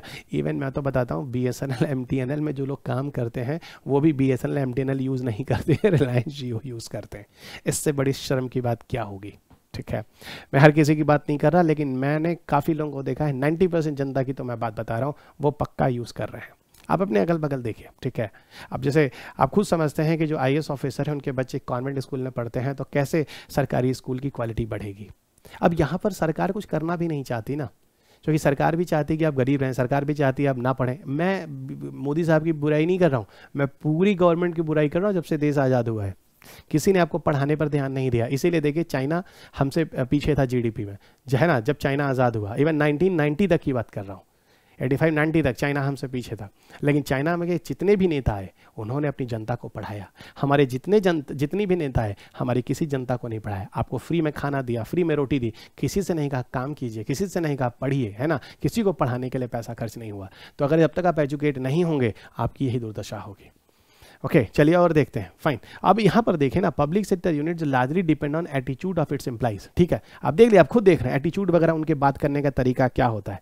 प्राइवेट वाले देखिए चार बार आपको सर सर कहते आते हैं है ना? और मतलब है ना? और गवर्नमेंट वाले देखिए करना हो तो करिए नहीं करना हो तो मत करिए ठीक है? यानी आप उनके ऊपर एहसान कर रहे हैं ठीक है ना? तो नहीं कर रहे हैं, वो आपके ऊपर एहसान कर रहे हैं। मतलब इस तरह का शो करते हैं। मेरे ख्याल से आप समझ चुके हैं, इस बारे में बात करने की ज़रूरत है नहीं। ठीक है तो अब ठीक है, अभी इस तरह की चीज़ों को लाकर इनको मर्ज करके जब फाइव वगैरह आएगा नेक्स्ट जनरेशन आएगा और एक बात और बताता हूँ। कुछ ऐसी चीज़ें जो आपको बताऊँ जो काबिल तारीफ़ है। बीएसएनएल की जो सर्विसेज़ हैं ओके जिनके ब्रॉडबैंड हैं, जो ये चीज़ नेटवर्क हैं, जिनकी सर्विस है, ये काफ़ी बेहतर है। काफ़ी बेहतर है। तो आप बोलोगे सर्विंग की सर्विसेज़ अच्छी क्यों नहीं है? एम्प्लाइज़ ना? एम्प्लाइज़ ओके okay, मेंटेनेंस आप देखिए ना आपको अगर एयरटेल का कनेक्शन चाहिए वाईफाई है ना? आप विश्वास कीजिए आपको दो घंटे में आके लगा जाता है। और एम टी एन एल देखे बी एस एन एल देखे, तीन दिन, चार दिन बाद। और ऊपर से लगाएगा और मेंटेनेंस देखे फ़ोन करते रहे फ़ोन उठता नहीं। और रिलायंस रिलायंस वाले, ये एयरटेल एयरटेल वाले क्या करते हैं? दो घंटे में ठीक करके चले जाते हैं। तो अल्टीमेटली आप क्यों क्यों गवर्नमेंट लेंगे? और यही जब इन लोगों को जब जॉब से निकाला जाएगा तो ये लोग उल्टी सीधी बातें बोलेंगे। सरकारी नौकरी पर जाकर आप खुद नहीं चाहते हैं। और मैं सही बता रहा हूँ, आप ही लोगों की वजह से सरकारी नौकरियाँ खत्म हो जाएँगी। सरकार ये भी प्राइवेटाइज कर देगा। ठीक है? तो ये कोई गलती नहीं है अगर सरकार ऐसा कर रही और सरकार क्यों ना करे? इसमें सरकार का दोष नहीं, हमारा और आपका दोष है। आप खुद देखिए, तीन लाख कंबल रिलायंस का चोरी हो जाता है। सॉरी रेलवे रेलवे से चोरी हो जाता है। इसका मतलब तीन लाख चोर तो है। तीन लाख अगर कंबल रेलवे से चोरी हो जाता है तो ये शर्म की बात है। यानी हम आप जब तक बदलेंगे नहीं, देश बदलेगा नहीं। और हम आप बदलेंगे कि नहीं बदलेंगे, ये आप बेहतर जानते हैं। चलिए, सिर्फ़ दूसरों पर थोप देना कि है ना चलिए, अब आगे बात करते हैं। तो वही चीज़ यहाँ पर भी है जो मैंने आपको स्टोरी सुना दी और कमल का एक उदाहरण दे दिया, एक मैसेज आपको दे दिया। और देखिए, यहाँ पर कोशिश क्या है? B will come out of losses 2023-24 है ना? और यहाँ पर कह रहे हैं एमटीएनएल को हम पच्चीस छब्बीस तक। और यहाँ पर टोटल है ना? इनको हम फिर से प्रॉफिट में लाने की बात कर रहे हैं। और टोटल है इन पर कर्ज कितना है? लगभग बीस हज़ार करोड़ रुपया। तो चलिए, ठीक है, इसको पास कीजिए। ये एक इंटरटेनमेंट का ही टॉपिक था जो मैंने आपको बोला। इसका यूपीएससी से कोई लेना देना नहीं है। आगे बढ़ते हैं। वन नेशन वन फास्टैग इसमें ऐसा कुछ नहीं है, सिर्फ़ आर एफ़ आई डी है जो आपको बताने का है, रेडियो फ्रीक्वेंसी आइडेंटिफिकेशन थोड़ा सा बताकर वही हम आपको निकल लेते हैं। आप सबको पता होगा एक स्कीम है जो शुरू की गई है जहाँ पर एक दिसंबर से नेशनल हाईवे पे जो भी व्हीकल्स हैं, वो फास्टैग के साथ कंपलसरी कर दिए गए हैं। ठीक है? ठीक है, फास्टैग की कमी थी धीरे धीरे लोगों ने फास्टैग लगवा लिया बैंकों ने, पेटीएम ने, है ना? एयरटेल ने, हर किसी ने, है ना? एक्सिस बैंक ने, हर किसी ने आपको इस तरह की चीज़ें ऑपरेशन दी हैं फास्टैग की, जो अकाउंट से कनेक्ट हो गया है। अब ये एक दिसंबर 2019 से इम्प्लीमेंटेड हुआ है। पूरी तरह से रेडियो फ्रीक्वेंसी आइडेंटिफिकेशन पर काम करता है, यानी आर पर होकर ये काम करता है। और ये पूरे इंटायर कंट्री में काम कर रहा है। नेशन स्टेट हर जगह, पूरी जगह पर इंटायर कंट्री में ये काम कर रहा है। कुछ चीज़ें यहाँ पर, जैसे टोल वगैरह में है तो ये डिजिटली पूरी तरह से कर लिया गया। असल में होता क्या था ना, वहाँ पर भी कुछ ना कुछ सिस्टम चलता था, अंदर ही अंदर। तो वो सब सरकार ने क्या किया? सबको डिजिटलाइज कर दिया। ठीक है तो फ्रॉडरी वगैरह नहीं रहेगा, इस तरह की चीज़ें। ये पेमेंट मेथड जो है, ये इलेक्ट्रॉनिक टोल कलेक्शन है ना? National electronic toll collection program के अंतर्गत है, जो पूरा काम कर रहा है। National payment corporation of India पूरे पेमेंट को कलेक्ट करता है। ये है पूरी एक बॉडी जो बनी है, जो इस पूरे पैसे को देख रही है। आर के बारे में एक लाइन में सुन लीजिए। रेडियो फ्रिक्वेंसी आइडेंटिफिकेशन टेक्नोलॉजी पर आधारित है। आप गाड़ियों पर इस तरह के फास्टैग को चिपका देते हैं। आप प्रैक्टिकली यूज़ कर रहे हैं, ठीक है, नहीं यूज़ कर रहे हैं तो अगल बगल पूछ लीजिए, गाड़ियों पर कैसे चल रहा है टोल पर। और वो रेडियो फ्रीक्वेंसी अच्छा रेडियो वेव जो होता है, वो नॉन डायरेक्शनल होता है। और नॉन डायरेक्शनल होने से क्या होता है, आप किसी भी डायरेक्शन में अगर थोड़ा बहुत टेढ़ा मेढ़ा भी लगा हो, थोड़ा टेढ़ा मेढ़ा भी ऊपर आपको, सामने सामने की जो विंडशील्ड होती है ना, शीशा जो ट्रांसपेरेंट होता है सामने, उसी पर हम हम अंदर से लगा देते हैं। तो बाहर से क्या करता है? ऊपर से वो रीड कर लेता है रेडियो फ्रीक्वेंसी और रेडियो फ्रीक्वेंसी नॉन डायरेक्शनल होता है तो चारों तरफ़ उसके वेव चलते हैं। डायरेक्शन होता है एक ही तरफ़ तो थोड़ा बहुत भी उधर से कहीं से हल्का सा वो फास्ट टैग का इन्फॉर्मेशन आता है, वो रीड कर लेता है। और इसी तरह का आर आप देखें ना बिग बाज़ार स्पेंसर वो ना रीडर्स होते हैं खट खट खट जो टैग को रीड करते हैं। उसी तरह का कॉन्सेप्ट ये भी है। ये गाड़ियों पर लगा है। ठीक है। प्रोजेक्ट सोली के बारे में बात करते हैं। देखिए प्रोजेक्ट सोली जो है, वो गूगल पिक्सल 4 जो है, एक रडार आधारित सोली चिप लेकर आया है। ठीक है, फ़िलहाल भारत में इसको अलाउ नहीं किया है। ये पूरी तरह से मोशन सेंसस है और ये एक तरह से टचलेस गेस्चर बेस्ड कंट्रोल है। असल में आजकल ना, आप देखिए 2019 में एक प्रश्न दिया यूपीएससी ने, हमको अभी याद आ रहा है। वो नहीं दिया था वियरेबल डिवाइसेस है ना? वियरेबल डिवाइसेस पर पूछा था। वियरेबल डिवाइसेस आप देखिए ना रिलायंस रिलायंस सॉरी या iPhone watches four generation Samsung five G gear four G gear है ना? आप समझ रहे हैं मैं क्या कर रहा हूँ? वॉचेस आपको दे देते हैं और वो आपको क्या करता है? वेरेबल डिवाइस होता है। और उसकी मदद से आपके बहुत सारे इन्फॉर्मेशन होते हैं जो आप बॉडी से आइडेंटिफाई कर लेते हैं, ठीक है? तो वही बात मैं कर रहा हूँ। उसी तरह की चीज़ें प्रोजेक्ट सोली के नाम से भी आया गया है, जो गूगल ने अनाउंस किया था 2015 में। ठीक है? और जो पूरी तरह से ए टी पर आधारित है, यानी advance technology and project division है जिसने इसको डेवलप किया है। असल में इसमें करना क्या है, जिसको हम वेरेबल डिवाइसेस में फ़ोन में कंप्यूटर में कार में और आईओटी डिवाइसेस में जोड़कर हम काम करा सकते हैं। इंटरनेट ऑफ़ थिंग्स यानी इंटरनेट के द्वारा आप किसी वस्तु को जोड़ सकते हैं। जैसे अब मैं मान लो इस घर में हूँ और मेरा एसी चल रहा है। तो मैं चाहूँ तो इस एसी को घर के बाहर से इंटरनेट के द्वारा ऑन और ऑफ़ कर सकता हूँ। तो इंटरनेट के द्वारा हम किसी वस्तु को जोड़ रहे हैं। तो इस तरह की चीज़ों में हम प्रोजेक्ट सोली को यूज़ करने की बात कर रहे हैं। अपोजिट सोली में एक चिप होता है जनरली बहुत ही छोटे साइज़ का चिप होता है और ये मोशन सेंसर्स पे भी काम करता है ना? छोटे मोटे मूवमेंट्स को भी आइडेंटिफाई कर लेता है। ठीक है? अच्छा अब सुनिएगा इसमें होता क्या है। इसमें माइक्रोस्कोपिक स्केल में आप देखिए लिखा भी है अगर आप uh, अपने मोशंस को आप माइक्रोस्कोपिक स्केल में भी अगर आप करते हैं तो ये प्रोजेक्ट आपको आइडेंटिफाई कर लेगा है ना? ये प्रोडक्ट इसमें जो सोली चिप है वो आठ मिलीमीटर से दस मिलीमीटर तक का है। है ना, पूरी लंबाई चौड़ाई।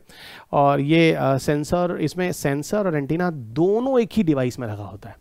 सेंस करने वाला और एंटीना सिग्नल्स भेजने देने वाला। ठीक है, ये दोनों चीज़ें एक में ही लगी होती हैं। ठीक है, और ये पूरी तरह से रिडार आधारित होता है। तो रडार के द्वारा इसको हम मॉनिटरिंग करते हैं। लेकिन फिर मैं बता रहा हूँ, भारत में इसको अलाउ नहीं किया है, क्योंकि इसकी जो फ्रीक्वेंसी है वो 60 गीगाहर्ट स्पेक्ट्रम पर है, जो कॉमर्शियली कॉमर्शियली अलाउ नहीं है भारत में। ठीक है, क्योंकि इंटरफेरेंस वगैरह, फ़िलहाल 60 गीगा हर्ट स्पेक्ट्रम पर फ्रीक्वेंसी पर डिस्टर्बेंसेस बहुत कम होते हैं। हम भारत में जो जनरली वाईफाई वगैरह चला रहे हैं, देखो ना two two point five giga hertz के आसपास है, और फाइव गीगा हर्ट्स के आसपास है। सिक्सटी गीगा हर्ट स्पेक्ट्रम में फ़िलहाल जनरली चीज़ों को हम इंडिया में यूज़ नहीं कर रहे हैं, इस तरह के कॉमर्शियल पर्पजेस के लिए। इसलिए भारत में इसको अलाउ नहीं किया है, ठीक है। और इस सिक्सटी गीगा हर्ट्स बैंड को जनरली वी बैंड या वी गिग बैंड के नाम से जानते हैं वाईफाई एट सिक्सटी गीगा हमारे इंडिया में कितना चल रहा है? Two point four five giga hertz five giga hertz और ये वाईफाई सिक्सटी गीगा हर्ट्स वाला है, जिसको ये नाम दिया गया, ठीक है? तो ये थोड़ा फैट थोड़ा इन्फॉर्मेशन याद रखेगा Soli okay Soli chip edge computing के बारे में बात करेंगे। एक और टॉपिक है जो इस मंथ में रहा है एज कंप्यूटिंग के बारे में। एज कंप्यूटिंग क्या है? असल में 2025 तक, ठीक है? कहा जा रहा है कि कंपनियाँ जो होंगी, इस तरह की चीज़ों को डेवलप कर लेंगे। एज कंप्यूटिंग अब देखो यहाँ पे एक चीज़ आपको समझना होगा क्लाउड कंप्यूटिंग क्लाउड कंप्यूटिंग में क्या होता है? हम जैसे गूगल ड्राइव गूगल ड्राइव में क्या करते हैं? अपने इन्फॉर्मेशन को सेव कर लेते हैं, समझिएगा। और उसको एक्सेस करने की अथॉरिटी देते हैं। जैसे अब आप मुझे बताइए मेरे कई ऐसे इन्फॉर्मेशन होते हैं, जैसे नोट्स वगैरह होते हैं। मैं क्या करता हूँ? गूगल ड्राइव पे सेव कर देता हूँ। और उस गूगल ड्राइव के लिंक को, है ना, मैं शेयर कर देता हूँ। और आप उस लिंक को ओपन कर देता हूँ। ओपन होता है तो हर कोई डाउनलोड कर सकता है। तो वो एक क्लाउड कंप्यूटिंग है, एक गूगल ड्राइव अब अगर आप गूगल ड्राइव यूज़ करते हैं, आप समझ सकते हैं वो इंटरनेट का एक क्लाउड है जिसपे हमने इन्फॉर्मेशन को सेव कर दिया है और उसका एक्सेस आपको दे दिया है ओपन एक्सेस है। तो एवरीबडी उसको सीधा डाउनलोड कर सकते हैं। क्योंकि इट इज़ नॉट ईजी कि मैं हर किसी को, हज़ारों लाखों लोगों को, जो आप लोग मुझे सुनते जा रहे हैं पिछले कई सालों से, मैं आपको पर्सनली मेल कर पाऊँ। तो वही कंसेप्ट है जो यहाँ पर मैं आपको बताने की कोशिश कर रहा हूँ। क्लाउड कंप्यूटिंग में अच्छा एक बात और बताता हूँ। जो नेटवर्क और सर्वर होते हैं ना, वो कहीं किसी जगह बनाए जाते हैं। ओके और वहाँ पर जाता है पहले डेटा को चेक किया जाता है, फिर वहाँ से लाया। जैसे मान लीजिए कि आप फेसबुक यूज़ करते हैं, मान लीजिए आप इंस्टाग्राम यूज़ करते हैं, मान लीजिए आप टेलीग्राम यूज़ करते हैं तो भैया आपकी मोबाइल फ़ोन पे जो इंस्टाग्राम टेलीग्राम या फेसबुक जो इस तरह की चीज़ें आप यूज़ कर रहे हैं, इसका कहीं सर्वर है जहाँ पर इसके डेटा सेव है। आप क्या करते हैं? आप उन सर्वर पर जाते हैं जैसे आप टेलीग्राम पे जाते हैं ना, और जब कोई मैसेज या कुछ डालते हैं तो खट से उस सर्वर पे चला जाता है। वो टेलीग्राम जब आप इंटरनेट ऑन करते हैं तो टेलीग्राम पे जो इन्फॉर्मेशन आता है, ठीक है, वो सर्वर से आता है। और उसका एक ना क्लाउड होता है, जो मैं क्लाउड कंप्यूटिंग की बात कर रहा हूँ, जो कहीं दूर होता है। इज़ कंप्यूटिंग में बोला जाता है, आप यही समझ लीजिए हमसे जो कहने की कोशिश कर रहा हूँ, आपके अगल बगल ही उसके डेटा को रखा जाता है। और यानी किनारे, जिसको हम इज़ बोलते हैं। अब उसका हम सेंट्रल जगह पर उस डेटा को नहीं सेव करते हैं। आपके किनारे किनारे का मतलब आपके आसपास ही रहता है। अब यहाँ पर डेटा वगैरह को एक्सेस करना बहुत आसान है क्योंकि अगल बगल से ही आपको डेटा तुरंत एक्सेस हो जाता है। तो यहाँ जो प्रोसेसिंग वगैरह होता है ना, और फास्टेस्ट प्रोसेसिंग कर सकते हैं। अभी देखिए, जब फोर जनरेशन है, तब आपको क्लाउड कंप्यूटिंग और एज कंप्यूटिंग में ज़्यादा डिफरेंस नहीं मिलेगा। लेकिन वही जब फाइव जनरेशन वाला मोबाइल फ़ोन टेक्नोलॉजी जब हम यूज़ करेंगे तो इंटरनेट की सर्विसेज़ बहुत फास्ट हो जाएँगी। तो वो वो वाला जो क्लाउड कंप्यूटिंग है और जो जो जिसका सेंट्रल डेटा कहीं दूर है, और जो एज कंप्यूटिंग जिसका जिसका डेटा हम कहीं अगल बगल रखें, जो हम एक्सेस कर सकते हैं, हमारे अगल बगल ही होता है, वो आपको डिफरेंस देखने लगेगा। तो वही यहाँ पर बोला जा रहा है एज कंप्यूटिंग देखिए यहाँ लिखा भी है companies will generate and process more than 75 percent of their data outside of traditional centralise data centre अभी क्या है? सेंट्रलाइज डेटा सेंटर है। तो क्लाउड कंप्यूटिंग के अंदर क्या है? किसी सेंट्रलाइज एरिया में सारा का सारा डेटा रखा गया है। ठीक है? और उसको सेंट्रलाइज एरिया से दूर कर कर हम क्या करेंगे? कहीं आउटसाइड ट्रेडिशनल किसी एरिया है ना? आउटसाइड सेंट्रलाइज एरिया में ना करके हम किसी अगल बगल ही आपको डेटा को सेव कर देंगे। तो यहाँ पर एक्सेस करना बहुत आसान हो जाता है। देखिए, लिखा भी है डेटा इज़ एनालाइज यहाँ पर लोकली हो जाएगा। और ये जो आपको होगा ना, देखो, लिखा quicker data processing and content delivery तो आप कंटेंट वगैरह काफ़ी हद तक, काफ़ी फास्टेस्ट हो जाएँगे। ये कंसेप्ट है। लेकिन यही मैं बता रहा हूँ, ये चीज़ आपको ज़्यादा क्लियर होगी जब इंटरनेट ऑफ़ थिंग्स हम यूज़ करने लगेंगे। तब ये चीज़ चीज़ें आपको ज़्यादा समझ में आएँगे। जब हम डेटा प्रोसेसिंग को और फास्ट कर देंगे, जब 5G टाइप की सर्विसेज़ आ जाएँगे, तब आपको ये चीज़ें समझ में आएँगी किस तरीके से एज कंप्यूटिंग आपको बेहतर परिणाम दे रहा है in comparison to cloud computing okay okay, तो मेरे ख्याल से आपको काफ़ी हद तक मैंने समझा दिया है जो हमारे नेटवर्क होते हैं जो सेंट्रलाइज नेटवर्क होते हैं जैसे पाँच सात नेटवर्क हैं दस दस नेटवर्क हैं पूरी दुनिया में वहाँ पे सारे डेटा हैं। ओके okay, जब मैं आपको इंटरनेट पढ़ाता हूँ तो मैंने आपको बोला था जो इंटरनेट पे सारे के सारे डेटा है ना वो किसी ना किसी सर्वर पर सेव है। हम क्या करते हैं जब हम किसी गूगल पर जाते हैं तो गूगल भी जो सर्च इंजन है कहीं ना कहीं किसी सर्वर किसी जगह पर सेव होगा ना वो स्पीड ऑफ़ लाइट से जाता है। जो कि ऑप्टिकल फाइबर है। ऑप्टिकल फाइबर में डेटा किस स्पीड से जाता है? स्पीड ऑफ़ लाइट तीन लाख किलोमीटर पर सेकंड और तीन लाख किलोमीटर पर सेकंड जाकर वो पूरी दुनिया में कहीं भी कहीं कहीं सर्वर है, फट से डेटा लेकर आपके सामने खोल देता है, आपके कंप्यूटर के डेस्कटॉप पर। यानी कहते हैं पलक झपकते ही अगर आप डॉक्टर रवि अग्रहरी को गूगल पर डालना चाहते हैं तो देखिए रवि अग्रहरी से जुड़े जितने भी इंफॉर्मेशन आपको गूगल पे खुल जाते हैं। मेरे ख्याल सब समझ चुके हैं। यूट्यूब फेसबुक इंस्टाग्राम टेलीग्राम जितने भी हैं पूर्वांचलाइज खबर आपको सब खुल जाते हैं। तो वही मैं कहना चाह रहा हूँ तो एज कंप्यूटिंग जो है, आगे चलकर एक तरह से, है ना, काफ़ी बेहतर सिद्ध होगा, लेकिन उसके लिए आपको नई जनरेशन को लाना होगा। बहुत सारे चैलेंजेस भी हैं, क्योंकि यहाँ पर जो एज कंप्यूटिंग होगा, वहाँ बहुत सारे, है ना सेवरल न्यू सिक्योरिटी रिस्क भी रहेगा। क्योंकि अब यहाँ सेंट्रलाइज डेटा नहीं सेंट्रलाइज होने पर क्या होता था? एक अथॉरिटी होती थी जो सेंट्रल लेवल पे कंट्रोल करती थी। अब फ़िज़िकल सिक्योरिटी रखनी पड़ेगी हर डिवाइस पर। ठीक है फ़िज़िकल सिक्योरिटी रखनी पड़ेगी हर डिवाइस पर, क्योंकि अब यहाँ पर आप ही के अगल बगल आपका डेटा है तो आपको सेफ़ सिक्योर ज़्यादा करना पड़ेगा। टिपिकल ऑफ़िस इक्विपमेंट लगाना होगा टिपिकल टेक्नोलॉजी आपको लगानी होगी, जिससे आपका जो, आपका एक कारपोरेट कंपनी आपकी कंपनी है ना तो उस कंपनी के अंदर ही आपको डेटा को काफ़ी सेफ़ और सुरक्षित रखना पड़ेगा, उसको लीकेज ना लीक ना हो जाए। ठीक है? अच्छा माइक्रो डेटा सेंटर बनाने पड़ेंगे। एक सेंट्रल डेटा था, अब आपको वहाँ पे एक ही से सारा मॉनिटर होता, अब आपको छोटे छोटे वो बनेंगे तो छोटे छोटी जगहों पे आपको डेटा सेंटर बनाने पड़ेंगे। ठीक है, उनको मॉनिटर करना पड़ेगा। अब बहुत सारे ऑर्गेनाइजेशन के साथ चैलेंज हो जाएगा, बहुत सारे ऑर्गेनाइजेशन होंगे, उनको उनको उनको मेंटेन करने की कोशिश करेंगे, उनको ट्रैक करना, उनको मॉनिटर करना डेटा वगैरह को जो आ रहे हैं, उनको सारा मैनेजमेंट करना थोड़ा सा डिफ़िकल्ट हो जाएगा। लेकिन फिर मैं कह रहा हूँ, ये चीज़ें ज़्यादा अच्छी होंगी जब हम फाइव जनरेशन पर पहुँचेंगे। तो मेरे ख्याल से आप काफ़ी हद तक इन चीज़ों को समझ रहे हैं, जो मैं आपको समझाने की कोशिश कर रहा था। आइए। सो एज टेक्नोलॉजी और एज uh, कंप्यूटिंग और क्लाउड कंप्यूटिंग तो ये चीज़ दोनों चीज़ें आप मेरे ख्याल से समझ रहे हैं। आइए दोस्त एक कंसेप्ट यहाँ पर हम बात करते हैं बायोटेक्नोलॉजी में। बायोटेक्नोलॉजी में डीएनए टेक्नोलॉजी बिल के बारे में बात करें DNA technology bill last year भी कई बार न्यूज़ में रहा है। जब मैंने 2019 के लिए करंट अफेयर्स के वीडियोस बनाए थे तो वहाँ मैंने डीएनए टेक्नोलॉजी बिल पर बात किया था। यहाँ पे करना क्या है? डीएनए टेक्नोलॉजी रेगुलेशन बिल है ठीक है जो लाया गया है और इसमें पूरा की पूरी कोशिश क्या है मैं आपको बताऊँ कि जो डीएनए बेस्ड टेक्नोलॉजी है उसके जो भी इंफॉर्मेशन है इंसानों के है ना उनको हम सेव कर लेंगे। भैया आप सब के अंदर यूनिक डीएनए सीक्वेंसेस होते हैं। ओके okay, बायोटेक की क्लासेस में जल्दी ही आपको पूर्वांचल आई पे दूँगा। मैं आपको बताऊँगा कि हम सब में करीब करीब एक ही तरह के डीएनए सीक्वेंसेस होते हैं।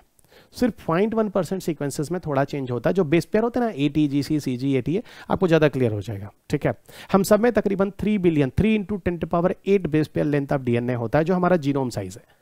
हम सबका जीनोम साइज़ कितना है? Three into ten power eight base pair length of DNA आप थ्री बिलियन बेस पेयर कह सकते हैं। बेस पेयर मतलब बेस का जोड़ा है। आप सुना होगा, अगर थोड़ा बहुत आप गलती से एनसीईआरटी की बुक उठा लिए होंगे तो ए होता है जी होता है ना? एक बेस पेयर हो गया, ये दूसरा बेस पेयर हो गया, इस तरह के सीक्वेंसेस होते हैं। तो यही मैं बात कर रहा हूँ कि यहाँ पर एक बिल है, डीएनए टेक्नोलॉजी बिल है, जहाँ पर हम हम सब डीएनए को डीएनए के जो डेटा होंगे, उनके जो सीक्वेंसेस वगैरह होंगे, उनको हम स्टोर करके रखने की बात कर रहे हैं। अब बात पूछेंगे कि, सर, इसके स्टोर करने से फ़ायदा क्या है? क्यों? आप इसके इस्टेब्लिश करने से आप किसी पर्सन की पहचान कर सकते हैं? ठीक है ना? किसी पर्सन की पहचान कर सकते हैं? फाइन अब किसी पर्सन की पहचान कर सकते हैं? मान लीजिए कोई क्राइम होता है, कोई डेड बॉडी मिल जाती है है ना? तो इस तरह की चीज़ें होती आप नहीं पहचान पा रहे हैं उस बंदे को तो उसके डीएनए सीक्वेंस से पहचान कर लीजिए। एक इंसिडेंस हुआ था, फ़िलहाल बहुत चौंकाने वाला है, लेकिन अच्छा एग्ज़ाम्पल नहीं है, लेकिन मैं ले रहा हूँ। जैसे राजीव गांधी को पहचाना गया। तो राजीव गांधी को पहचाना गया तो लोग कहते हैं उनके जूते से पहचाना गया, क्योंकि बॉडी तो मिली ही नहीं प्रॉपर ठीक है ना? तो आप ये बताइए, उनके सेल और डीएनए के सीक्वेंसेस से भी तो राजीव गांधी मिल जाते ना? तो ये चीज़ें तो काफ़ी हद तक ऑथेंटिक थी ना कि उनकी बॉडी कौन सी है? पहचान करना, वही बात मैं कह रहा हूँ। ठीक है, लेकिन एक बात यहाँ पर देखिए इसमें है क्या। तो ये चीज़ समझ में आ गई, ये ऐसी तकनीकी है जहाँ डीएनए बेस्ड तकनीकी है और यहाँ क्राइम को सॉल्व करना, किसी मिसिंग पर्सन को आइडेंटिफाई करना, पूरी दुनिया में, है ना, इस तरह की चीज़ों की हम मदद ले सकते हैं।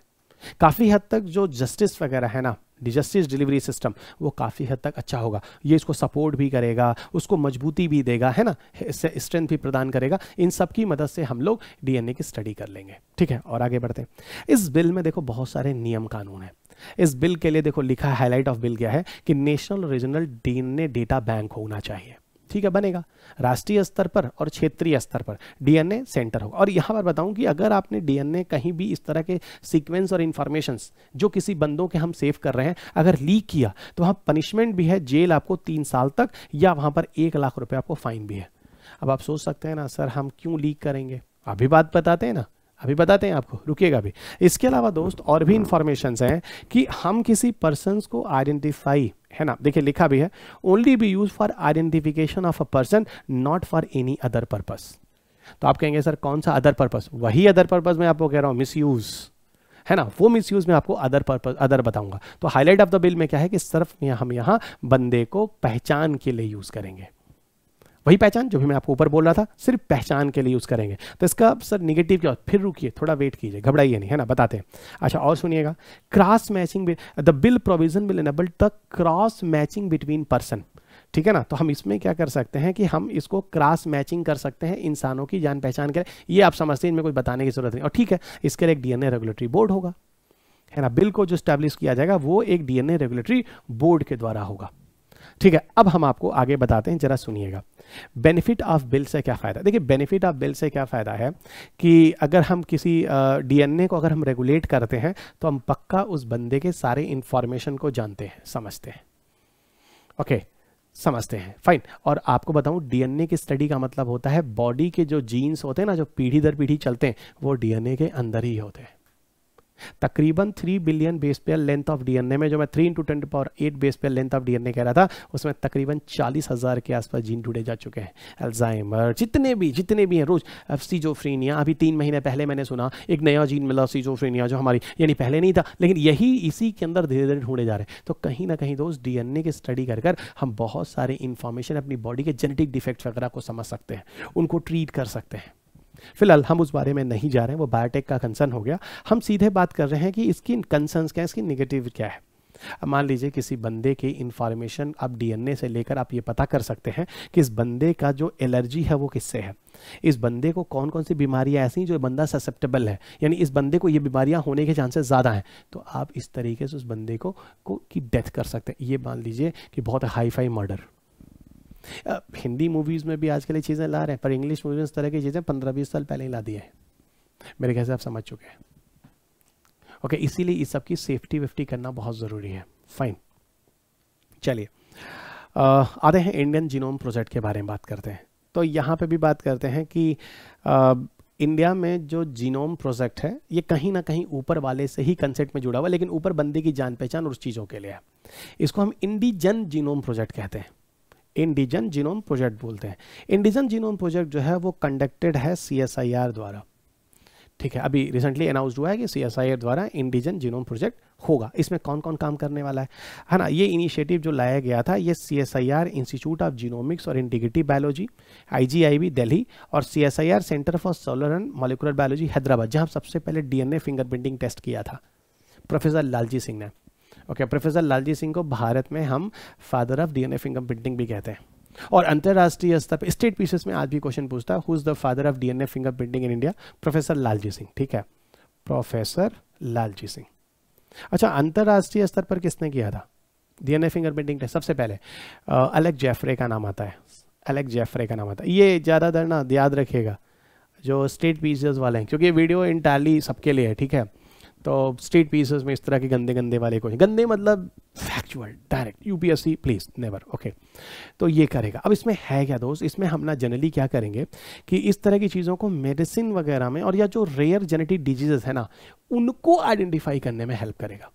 तो ठीक है, एक जीनोम प्रोजेक्ट है जो इंडिजन जीनोम प्रोजेक्ट के नाम से है और जिसको प्रॉपर सीएसआईआर से जुड़े बहुत सारे लैब हैं, जिसमें आईजीआईबी और सीसीएमबी का नाम आता है।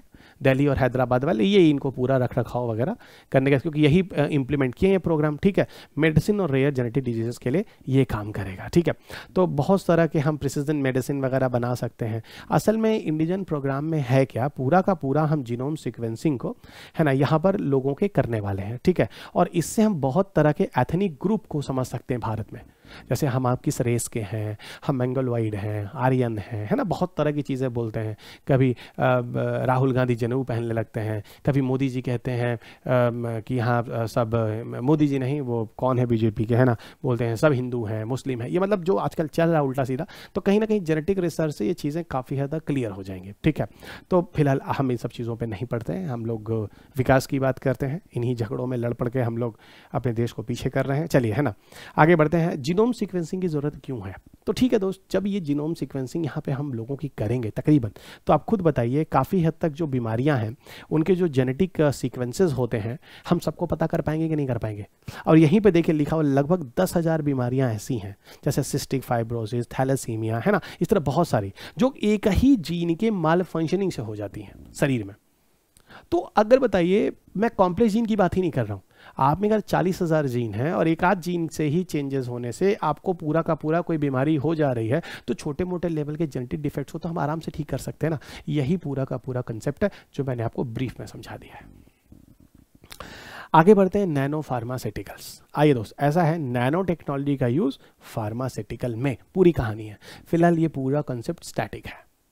लेकिन करंट अफेयर्स का न्यूज़ क्या था? उसको मैं स्टैटिक से खट से जोड़ देता हूँ। आपको पूरी कहानी समझ में आ जाएगी। है क्या? देखो nano means nano technology pharmaceutical means medicine तो नैनो टेक्नोलॉजी का यूज़ यहाँ पर मेडिसिन में होने जा रहा है। 2015 का एक प्रश्न भी रहा है। आप देखिएगा नैनो तकनीकी वाले चैप्टर में 2015 में एक प्रश्न पूछा था नैनो टेक्नोलॉजी का यूज़ कहाँ कहाँ है? एक उन्होंने दिया था ड्रग टारगेटिंग ड्रग टारगेटिंग में कर सकते हैं। और एक उन्होंने दिया था जीन थेरेपी में कर सकते हैं नहीं फ़िलहाल दोनों सही लिखा था। इस बारे में मैंने आपको बुक में भी लिखा है और मैंने आपको क्लास में भी कई बार पढ़ाया है। स्टैटिक वीडियोस में मैंने बताया है। सो so, यहाँ पर देखिए यानी नैनो टेक्नोलॉजी को ड्रग टारगेटिंग और जीन थेरेपी दोनों जगह पे यूज़ कर और आपको बताऊँ बायोटेक्नोलॉजी जो है वो नैनो सिस्टम के अंदर आता है। यानी नैनो टेक्नोलॉजी का एक पार्ट है। ठीक है? लेकिन अब है क्या? बायोटेक्नोलॉजी ऑलरेडी अपने आप में इतना बड़ा विषय बन गया है कि उसको नैनोटेक्नोलॉजी के अंदर नैनो सिस्टम में ना रखकर बायोटेक्नोलॉजी को अलग से एक विषय बना दिया है। नाइदर अगर आप बात करें तो एक्चुअल में बायोटेक्नोलॉजी नैनो टेक्नोलॉजी के ही अंदर का एक पार्ट है। आइए। सो so, यहाँ पर है क्या? देखिए यहाँ पर नैनो फार्मास्यूटिकल गाइडलाइन रिलीज़ की गई है और ये गाइडलाइन जो डेवलप किया है DBT department of biotechnology Indian council medical research और जो central drug standard control organisation है ये मिलकर लाए हैं। और, ये जो डेवलप हुआ है, ये ड्रग एंड कॉस्मेटिक रूल 1945 के ही अहलो कदम पर विकसित हुआ है और साथ साथ इसमें जो एक नया ड्रग वगैरह रूल जो लाया गया है second schedule of new drug and clinical trial rule 2019 उन्हीं के अंतर्गत नैनो फार्मास्यूटिकल की बात की गई है। ठीक है यानी डीबीटी आईसीएमआर और central drug standard control organisation ही पूरा इसको विकसित किए हैं। किस तरह से टेक्नोलॉजी को कहाँ पर हम फार्मास्यूटिकल के लिए यूज़ करने वाले यही पूरा कंसेप्ट है। ठीक है, अब इसमें हम थोड़ा सा अगर बात करें तो यहाँ आपको समझ में आ रहा होगा थेरेपेटिक पर्पस के लिए। ओके कॉन्ट्रैक्टिंग नैनो मटेरियल्स वगैरह। ऐसा करता हूँ, इसको मैं थोड़ा सा ना आपको इकोनॉमिक लाइफ ऑफ़ प्रॉपर्टी इसको मैं थोड़ा आपको ब्रीफ कर देता हूँ। थोड़ा और सिंपल तरीके से, क्योंकि जो न्यूज़पेपर्स वगैरह में आर्टिकल्स होते हैं, वो किसी ना किसी जनरल से ही उठाए जाते हैं, जो एक्सपेरिमेंट होते हैं तो जब उन्हीं चीज़ों को कॉपी पेस्ट करते हैं तो थोड़ा दिक्कत होती है। असल में होता क्या है कि जब कोई भी बॉडी के अंदर जेनेटिक रिस्पॉन्स होता है ओके या कोई भी जब बैक्टीरिया या वायरस इन्फेक्शन करता है तो ये जो जीव होते हैं ना बैक्टीरिया वायरस ये कहीं ना कहीं एक एंटीजन होते हैं, यानी एक बीमारी होते हैं, एक प्रॉब्लम होते हैं। हमारा शरीर इसके लिए एंटीबॉडी बनाता है। नैनो टेक्नोलॉजी की मदद से हम इस तरह के एंटीबॉडीज को बॉडी के अंदर बना सकते हैं। ओके okay, और बताता हूँ। सुनिएगा। बहुत से तरह के जैसे अभी मैं आपको बोला था ड्रग टारगेटिंग किसी वायरस की मदद से वायरस वगैरह क्या है छोटे से नैनो ऑब्जेक्ट्स हैं, है ना? कोई जीन को इंडिकेट करके बॉडी के अंदर आप उस जीन को ट्रांसफ़र कर दीजिए और मान लीजिए किसी को ल्यूकेमिया होता है, ब्लड कैंसर होता है तो बोन मैरो में उस जीन को ट्रांसफ़र कर दीजिए और बोन मैरो वो कोशिका होती है, टिश्यूज़ होते हैं जो बॉडी में W B C R B C बनाते हैं तो वही डब्ल्यू बी सी का नंबर जब एबनॉर्मल हो जाता है ब्लड कैंसर में, उसको कंट्रोल कर देते हैं।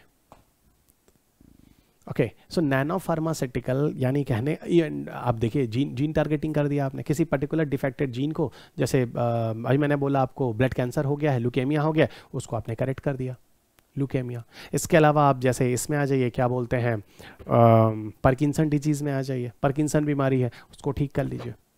जहाँ पे आप स्टेम सेल को यूज़ करते हैं। तो मेरा कहने का मतलब है कि आप कहीं ना कहीं नैनो टेक्नोलॉजी की मदद से आप फार्मास्यूटिकल में मेडिसिन बना रहे हैं। फार्मास्यूटिकल में जिन ड्रग टारगेटिंग कर रहे हैं। ड्रग टारगेटिंग का मतलब क्या होता है? ड्रग टारगेटिंग का मतलब होता है किसी स्पेसिफिक जगह पर आप किसी मेडिसिन के रिस्पॉन्स को पहुँचाते हैं। जैसे मैं आपसे एक बात पूछता हूँ। आप कैंसर जानते हैं, कैंसर में क्या होता है? कैंसर में क्या होता है, जब आप ट्रीटमेंट करते हैं तो जब आप कीमोज वगैरह लेते हैं तो कीमोथेरेपी सिर्फ़ आप एक कैंसरस के सेल को नहीं मारती है, वो नॉर्मल सेल को भी मारती है। और नॉर्मल सेल्स की वजह से ही हमारी बॉडी में स्ट्रेंथ होती है, हम स्ट्रांग होते हैं। अगर वो मरने लगेंगे तो हम और कमज़ोर हो जाते हैं। अगर मान लीजिए, हम कोई ऐसी दवा बना दें ड्रग को, जो कि सिर्फ़ कैंसरस सेल को आइडेंटिफाई करे, असल में क्या होता है, जब कोई सेल इन्फेक्टेड हो जाता है तो सेल के ऊपर ऐसा होता है, कुछ प्रोटीन सिग्नल्स वगैरह पाए जाते हैं। सिग्नल ट्रांसडक्शन एक मालिकुलर लेवल पे एक टॉपिक होता है। वो क्या करता है, उन सेल को रिकॉग्नाइज कर, सिर्फ़ उन्हीं टारगेट सेल को मारता है तो ड्रग टारगेटिंग हो जाता है। तो नॉर्मल सेल बच जाते हैं, सिर्फ़ कैंसर सेल मारते हैं। इस तरह की चीज़ों को नडेकॉलोजी से मतलब मैं आपको इस टॉपिक से भी एडवांस ले गया हूँ मालिकुलर लेवल पे नडेकॉली की बात कर रहा हूँ। सिग्नल ट्रांजेक्शन है ना? इस तरह की चीज़ें। तो इन सब चीज़ों को यहाँ पर फार्मास्यूटिकल्स के लिए लाने की जो बात हुई है इसी टॉपिक को यहाँ पर बात की गई है। आगे बढ़ते हैं ऑर्गेनवाइट्स के बारे में। देखो ऑर्गेनाइट्स क्या होते हैं? ये एक तरह से स्टेम सेल से जुड़ा कंसेप्ट है। Induce pluripotent cell okay induce pluripotent cell बात करेंगे छोटा सा। ऑर्गेनवाइट्स uh, का मतलब होता है brains in a disc brain का मतलब होता है दोस्त, neuron in a disc. Disc मतलब एक तरह से आप डिस्क, यानी कृत्रिम तरीके से आपने ब्रेन और उस तरह के न्यूरॉन्स को बनाने की बात कर रहे हैं। ठीक है? अच्छा अब सुनिएगा। यहाँ पर असल में है क्या? देखो, एक इंफॉर्मेशन है। एक लंग ऑर्गेनाइड जो है ट्रांसप्लांट किया भी गया है माइस के अंदर। आप एनिमल ब्रेन वगैरह को, उस तरह के टिश्यूज़ को आप लैब के अंदर बना सकते हैं। ये ये पूरा कॉन्सेप्ट है, उसी को आर्गेनवाइड्स बोला जाता है। ठीक है और इस तरह के रिसर्च इस तरह के काम बहुत हो रहे हैं लैब में। और इसमें आपको बताऊँ कि कहीं ना कहीं एक ह्यूमनाइजेशन ऑफ़ हो जो जो असल में हम क्या कर रहे हैं मैं आपको बताऊँ यहाँ पर कंसेप्ट जो है यहाँ पर देखिए लिखा है कि लेबोरेटरीज में जनरली क्या हो रहा है एक पूरा का पूरा थ्री डायमेंशनल मिनिएचर स्ट्रक्चर ही बनाया जा रहा है किसी पर्टिकुलर अंग का। ओके okay, और उस अंग को बॉडी के अंदर डालकर नेचुरल अंग की तरह ही वो अंग है जो बन रहा है और उसको हम आपकी लाइफ को बचाने के लिए प्रयोग में ला रहे हैं। वो चीज़ें जो हम किसी लैब के अंदर बना रहे हैं, ठीक है ना? प्रयोगशाला के अंदर बना रहे हैं। आप ही की तरह के सेल और टिश्यूज को, या एक अंग की तरह के कैरेक्टर को ऑर्गन को, वो ऑर्गेनोइड्स कहलाते हैं। ओके okay, वो ऑर्गेनोइड्स कहलाते हैं। अब इनमें पूरा का पूरा एक ऑर्गन मतलब पूरा थ्री डायमेंशनल पिक्चर तो वही यहाँ पे कह रहा है पूरा का पूरा थ्री डायमेंशनल पिक्चर और जनरली मिनिएचर है अगर वो छोटे साइज़ का हो सकता है। है ना? किसी छोटे सेल और टिश्यूज से बनकर इवॉल्व हो सकता है। उन सारी चीज़ों को लेकर हम पूरा का पूरा कंप्लीट ऑर्गन का निर्माण कर रहे हैं। स्टेम सेल में क्या करते हैं? स्टेम सेल को लेते हैं और कंप्लीट ऑर्गन का निर्माण करते हैं। उसी तरह की चीज़ों को हम ऑर्गेनाइट्स बोलते हैं। इंड्यूस प्लूरिपोटेंट सेल में इस तरह की बात होती है। एक नया टर्म है जिसको ऑर्गेनाइट्स बोला गया है। तो लिखा भी है, एक teeny tiny typically size of pea की तरह के ऑर्गन लाइक स्ट्रक्चर्स को हम यहाँ पर अचीव कर सकते हैं। ठीक है, उसको ह्यूमन ऑर्गन के अंदर डाल सकते हैं। इनको टिश्यूज वगैरह को हम डेवलप कर सकते हैं। अब उन्हीं चीज़ों को यहाँ पर बार बार कंसेप्ट को समझाया गया। और यहाँ देखिए लिखा इंड्यूस प्लूरिपोटेंट स्टेम सेल इस तरह के कार्य को करने में काफ़ी हद तक सक्सेसफुल है। और इसीलिए देखो आजकल होता भी कि आप स्टेम सेल को प्रिजर्व कर लें। बहुत सारी ऐसी कंपनियाँ हैं जो कहती हैं भैया देखो अपने स्टेम सेल को प्रिजर्व कर लो। कल को आपके बच्चों को कोई प्रॉब्लम होगी या आपको कोई डिज़ीज़ होगी। तो उस बच्चों के जो अम्बलिकल कॉर्ड को कट करके जो स्टेम सेल रखा जाता है जब बच्चा पैदा होता है एक एक, एक मेथड होता है cryopreservation minus one degree Celsius temperature में लिक्विड नाइट्रोजन के अंदर किसी सेल टिश्यू इस तरह की चीज़ों को रख दे स्टेम सेल को तो वो मरता नहीं है long term long term save हो जाता है। तो कल को उसी स्टेम सेल से आपके बच्चे का ऑर्गन बनाकर आपके अंदर डाल दिया जाएगा। क्योंकि आपका ऑर्गन अगर आपके अंदर जाएगा तो वो तो आपका खराब हो चुका अब कहाँ से आएगा? और आपके बच्चे का ऑर्गन जाएगा तो करीब फिफ्टी सिक्सटी परसेंट ऑर्गन तो सेम ही होगा ना, और वो आपके बच्चे का ऑर्गन नहीं निकाला जा रहा है। वो जब बच्चा पैदा हुआ था, उसका जो स्टेम सेल बचाकर प्रिजर्व किया गया ना क्रायोप्रिजर्वेशन तकनीकी से, उस स्टेम सेल से ऑर्गन बनाकर उस ऑर्गन को आपके अंदर डाला गया। और हमेशा अक्सर देखो, जब कभी ऑर्गन की ज़रूरत पड़ती है तो डॉक्टर कहता भैया, देखो, पहले कोई फैमिली मेंबर है जो अंग देगा। अब आप एक नंबर के पापी हैं तो क्यों फैमिली वाला कोई आपको अंग देगा? अब अच्छा काम करें, लोगों की मदद करें तो दूसरा भी दे देगा। लेकिन जनरली फैमिली मेंबर का क्यों? क्योंकि एक फैमिली मेंबर का मतलब होता है भाई बहन माँ बाप एक ही तरह के पचास साठ परसेंट जीन होते हैं, क्योंकि सारे भाई बहन माँ बाप एक ही तरह के माँ बाप से बच्चे आते हैं ना? इसीलिए ओके सो वो कहानी, चलिए ठीक है, बहुत ज़्यादा डिस्कशन पे नहीं जाते। अब हम इसकी बात करते हैं, इससे क्या क्या हेल्प हो सकता है? तो अब मैं आपको बताता हूँ, जैसे मान लीजिए हम किसी प्रोटीन या जीन वगैरह की मदद से क्या करते हैं, किसी स्पेसिफिक आर्गन को बना सकते हैं, विकसित कर सकते हैं, और बात करते हैं। अगर हम ऑर्गेनॉइड्स वगैरह की बात करें, ठीक है सो ब्रेन के ऑर्गेनाइड्स को बनाएँ, यानी अब आप मुझे बताइए, कोई अंग बनने के पहले ऑर्गन बनने के पहले क्या होता है? टिश्यू टिश्यू के पहले क्या होता है? सेल आप देखें ना सेल फिर टिश्यू फिर ऑर्गन अब आप मुझे बताइए, अगर जीका वायरस हो रहा है और आपके ब्रेन सेल के टिश्यूज डैमेज हो रहे हैं तो कोई बात नहीं। ऑर्गेनोइड्स क्या हुआ? आप उनके आ, आ, उनके टिश्यूज़ को बना लीजिए उन टिश्यूज़ को जो डैमेज है उनकी रिकवरी कर लीजिए और जीका वायरस का जो इफ़ेक्ट है उसको दूर कर लीजिए। है ना? तो डेवलपमेंट क्या होगा? एम्ब्रियो वगैरह में है ना? एम्ब्रियो एम्ब्रियो वगैरह में इस तरह के जो बच्चों के जो ब्रेन के डेवलपमेंट में प्रॉब्लम हो रही है उनको ठीक कर लीजिए। तो बच्चे जो हो रहे हैं माइक्रोसिफेली जो होती, जीका में क्या होती? माइक्रोसिफैली हो जाती। ये वाला पार्ट अजीब सा हो जाता है है ना? कभी आप वीडियो वीडियो देखिए यूट्यूब पर आपको मिल जाएगा माइक्रोसिफैली ठीक है? तो उसको आप करेक्ट कर सकते हैं। इसके अलावा बहुत सारे रिजेंबल मैच्योर टिश्यूज बना सकते हैं, ठीक है? थ्री डायमेंशनल इस तरह के पूरे टिश्यू सेल और से ऑर्गन बना सकते हैं, ठीक है? बॉडी के अंदर ट्रांसप्लांट कर सकते हैं, ठीक है? अपनी बॉडी की लाइफ बना सकते हैं, बचा सकते हैं। तो ये सारा का सारा जो कंसेप्ट है, वो ऑर्गेनवाइट्स कहलाता है। नेशनल न्यूट्रिशन सर्वे हुआ है, ठीक है, उस पर भी थोड़ी सी बात कर लेते हैं। नेशनल न्यूट्रिशन सर्वे जो है यूनिसेफ, है ना? है ना? यूनिसेफ ने ministry of health and family welfare के साथ रिसेंटली मिलकर एक नेशनल न्यूट्रिशन सर्वे है, जो रिपोर्ट आई है, जिसमें मॉल न्यूट्रिशन पर बात हुई है माइक्रो न्यूट्रिएंट डेफिशिएंसी पर बात हुई है, और जो नॉन कम्युनिकेबल डिज़ीज़ है है ना? मतलब असंचारी है ना? मतलब डायरेक्ट नहीं हो रहे हैं नॉन कम्युनिकेबल मतलब जैसे डायबिटीज़ है, जैसे हार्ट अटैक है, ये कम्युनिकेबल नहीं है। ये आपको है तो सिर्फ़ आपको होगा, आप खांसने से दूसरे को नहीं होगा। ठीक है मैं उसकी बात कर रहा हूँ नॉन कम्युनिकेबल है ना नॉन कम्युनिकेबल तो उसके बारे में एक सर्वे और रिपोर्ट आया है तो फ़िलहाल ये फैक्चुअल डेटा है तो उसमें फैक्ट आपको बता देता हूँ। बाकी शीट से आप जल्दी गो थ्रू हो जाएगा। दस परसेंट जो बच्चे हैं, पाँच से नौ साल की उम्र वाले एडल्सेंट हैं, है ना मतलब कमज़ोर हैं, दुर्लभ हैं, उस तरह के हैं ग्रुप वाले। और दस से उन्नीस ईयर्स तक जो प्री डायबिटिक हैं, बताइए। प्री डायबिटिक बच्चे आपको दिख रहे हैं? मतलब अर्ली स्टेज ऑफ़ डायबिटिक इस तरह के, है ना? और पाँच परसेंट जो है, उनका देखिए ओवर वेट है और पाँच परसेंट जो है, उनमें ब्लड प्रेशर की प्रॉब्लम है। बताइए मतलब हम लोग, हम, मुझे आज भी याद है, जब छोटे बच्चे थे तो माँ बाप जमकर खिलाते थे।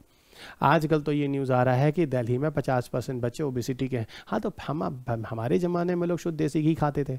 शुद्ध आपको हवा मिलती थी, शुद्ध आप फ़िज़िकल वर्क करते थे। आजकल के बच्चे क्या हैं? सब वो अमूल और ये क्या क्या सब प्रोडक्ट खा रहे हैं मदर डेयरी नेचुरल है कहाँ सब? ठीक है ना? दूसरा सब अमूल बेबी हैं, हम सब पूरा गाय भैंस का दूध पिए हैं फ़िज़िकल वर्क किए हैं, खेत में जाके काम किए हैं फ़िज़िकल दौड़ दौड़ते थे हम लोग, सोचिए भले काले हो गए, ठीक है, आज के बच्चे गोरे ज़्यादा हैं, ठीक है ना? हम लोग धूप में रहे, एकदम काले काले, देखिए आज भी उसका इफ़ेक्ट दिख रहा होगा आप लोगों को। तो मैं वही कह रहा हूँ कि इन, हम बच्चों में, हम लोगों में स्ट्रेंथ इन बच्चों में नहीं है। देखिए, इन, हम लोग के ज़माने में मोटा बच्चा तो गोलू मोलू प्यारा सा, आज के ज़माने मोटा हो गया मतलब ओबेसिटी हो गई, बीमारी बोलते हैं। भाई डायबिटीज़ टाइप के सिम्टम्स आपको मैं बता रहा हूँ, इससे ज़्यादा क्या बोल सकता हूँ? ठीक है, हँसते खेलते भले मैंने मज़ाक में चीज़ों को समझाया, लेकिन मेरा इंटेंशन क्या था? आप चीज़ों को समझ रहे मैं कहना क्या चाह रहा हूँ। ठीक है? और देखिए, ठीक है ओबेसिटी की बात हो रही है, और इसके साथ ही अंडर न्यूट्रिशन भी है। देखो ओबेसिटी तो अमीर वाले हैं अंडर न्यूट्रिशन गरीब वाले हैं तो दोनों दिक्कतें चल रही हैं जो सर्वे में आ रहा है, ठीक है? One of the five children ठीक है? देखिए, सुनिएगा, हर पाँच में से एक बच्चा, पाँच से नौ साल वाला स्टंटेड है प्रॉपर ग्रोथ ही नहीं हुआ उसकी बॉडी का। और सुनिएगा, तमिलनाडु और गोवा वो हाईएस्ट नंबर ऑफ़ एडल्सेंट हैं जहाँ बच्चों वगैरह के डेवलपमेंट नहीं हो रहे हैं। जनरली प्रॉपर नहीं ओबेसी ओबेस है या ओवरवेट यानी मोटापा है। हाईएस्ट नंबर तमिलनाडु और गोवा में जहाँ पर आप बच्चों के अंदर क्या देखेंगे? जनरली ओवरवेट है। ठीक है? अच्छा और इधर आइए। अब माल न्यूट्रिशन कुपोषण इस तरह की समस्या को दूर करने के लिए भारत सरकार बहुत चीज़ें लेकर आई है, ठीक है? अब आपके डोर स्टेप पर चीज़ें पहुँच रही हैं, आप जागरूक है नहीं है, फ़िलहाल माँ बाप को खुद जागरूक होना चाहिए, ठीक है? सरकार कहाँ तक आपके घर घर तक आएगी? प्रधानमंत्री मातृ वंदना योजना छः हज़ार आपको दे रहे हैं। डायरेक्टली आपके बैंक में ट्रांसफ़र हो रहा है, ठीक है? प्रेगनेंट वीमेन के लिए। फाइन पोषण अभियान प्रॉपर जो स्टंटिंग है है ना, उसको कम करने के लिए बच्चे कम, दुबले पतले ना हो। न्यूट्रिशन कम एनीमिया वगैरह की प्रॉब्लम जो हो रही है लो बर्थ वेट हो रहा है बच्चों का, इस तरह की चीज़ें ना, इसके लिए आपको पोषण अभियान लाया गया है। तीसरा नेशनल फ़ूड सिक्योरिटी एक्ट 2013 ये भी लाया गया जिसमें आपको जो न्यूट्रिशनल सिक्योरिटी है प्रॉपर फ़ूड वगैरह, ठीक है ना, वो प्रॉपर दिया जाए प्रॉपर कैलोरी दी जाए। देखिए, ये सब सब मिड डे मील स्कीम जिसकी शुरुआत कहाँ से हुई थी, मुझे कमेंट बॉक्स में ज़रूर लिखिएगा। भारत में सबसे पहले मिड डे मील कहाँ लाया गया? देखिए ठीक है तो भारत में ये चल ही रहा है। दोपहर वगैरह में खाना खिलाइए क्या लाइए? मुझे कमेंट बॉक्स में देखिएगा किस स्टेट्स में सबसे पहले मिड डे मील स्कीम लाया गया था। अगर स्टैटिक पार्ट आप पढ़ रहे हैं बुक पढ़ रहे हैं तो आप आंसर तुरंत दे देंगे ठीक है? इसके अलावा बहुत सारी चीज़ें United Nation decade of action of nutrition के नाम से भी ये कॉन्सेप्ट लाया गया। फ़िलहाल दो से दो को है ना United Nation decade of action of nutrition के नाम से यूनाइटेड uh, नेशन ने इन ईयर्स को डेडिकेट किया है। कि पूरे विश्व से इस तरह के न्यूट्रिशन को हम प्रॉपर पहुंचाएँ और इस तरह मॉल न्यूट्रिशन इस तरह की जो समस्या है, पूरी दुनिया से दूर करें। तो ये आपका एक यूनाइटेड नेशन है, जो एक 10 साल का एक टारगेट लेकर आया हुआ न्यूट्रिशन को प्रॉपर तरीके से पहुँचाने के लिए। तो इसको भी एक बार गो थ्रू हो जाइएगा, इसमें बहुत ज़्यादा ऐसा कुछ है नहीं जो आपको समझाया जाए। अच्छा state of the world children report तो यूनिसेफ का रिपोर्ट है, ठीक है?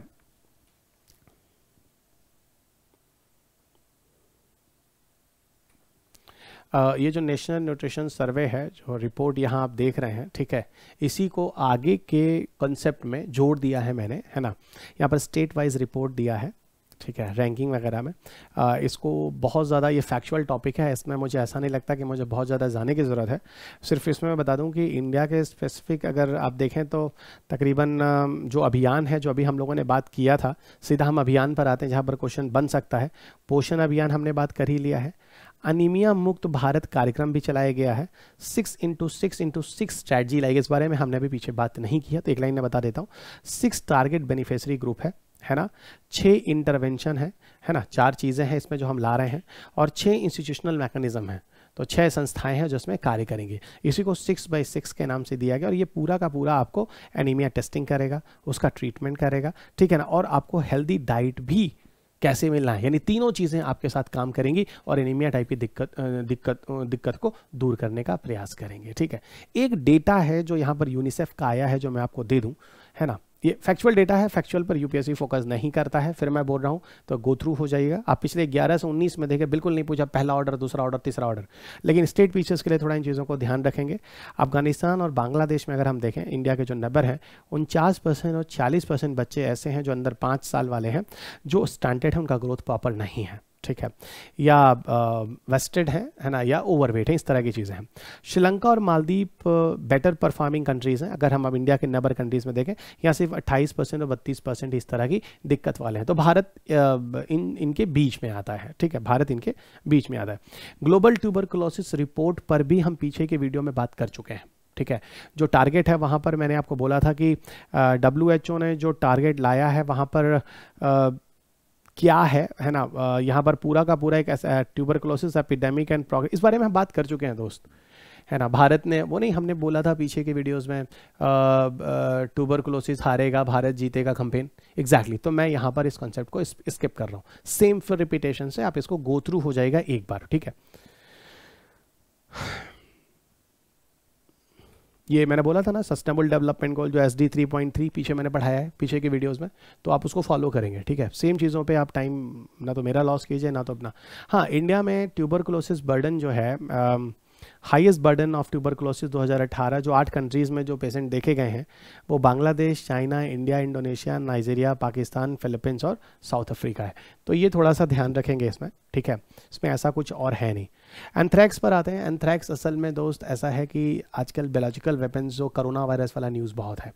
तो उसमें एंथ्रैक्स भी अभी इस मंथ में, अक्टूबर में न्यूज़ में रहा था। तो मुझे लगा एक बार थोड़ा सा इंट्रोड्यूस कर देना चाहिए। एंथ्रैक्स एक बैक्टीरियल डिज़ीज़ है और उस बैक्टीरिया का नाम है बैसरस एंथ्रेसिस और ये जनरली मिट्टी में पाया जाता है। मिट्टी मतलब इसके जर्म जो होते हैं वो मृदा में पाए जाते हैं, ठीक है? ये जनरली एनिमल्स को बीमारी देता है, जो रोरिंग एनिमल्स होते हैं ना, जो चलते फिरते हैं, गाँव में कैटल है शिप है गोट्स है, इस तरह के एनिमल्स में होते हैं। और जनरली इन्हीं इन्फेक्टेड एनिमल्स से, इनके प्रोडक्ट्स से, इनके मीट से, है ना, इनके कपड़ों से, इन्हीं चीज़ों से ये आप तक ट्रांसफ़र होते हैं। तो ये बीमारी एक्चुअल में जानवरों को होती है और जानवरों से आपको आती है। ठीक है, ये हो गया। दूसरी बात आपको बताऊँ, इनके जो स्पोर्स जो होते हैं ना, ये स्पोर्स के थ्रू फैलते हैं। अब जैसे किसी जूते में लगा हो, किसी कपड़े में लगा हो तो वहाँ से होकर एंथ्रैक्स आपके पास आते हैं। एंथ्रैक्स जो है जनरली ये रेस्पिरेटरी इन्फेक्शन करता है, जहाँ पर आपके रिस्पिरेशन कोलैप्स हो जाते हैं लंग्स कोलैप्स हो जाता है। तो हवा नहीं, जैसे आपको स्वाइन फ्लू टाइप के इन्फेक्शन होते हैं, उस तरह की चीज़ें यहाँ पर होती हैं, यहाँ पर लंग्स कोलैप्स हो जाता है। और गैस्ट्रो इंटेस्टाइनल इन्फेक्शन भी होता है, जहाँ पर आप देखें तो फ़ूड पॉइजनिंग की बात कीजिए, है ना डायरिया की बात कीजिए, है ना, ये पूरा का पूरा कंसेप्ट जो है गैस्ट्रो इंटेस्टाइनल ट्रैक गैस्ट्रो मतलब पूरा आहार नाल वाले से जुड़ा हुआ तो इसमें bleeding beating vomiting of blood होता है है ना? Intestinal tract loss of appetite है ना? इस तरह की चीज़ें हैं।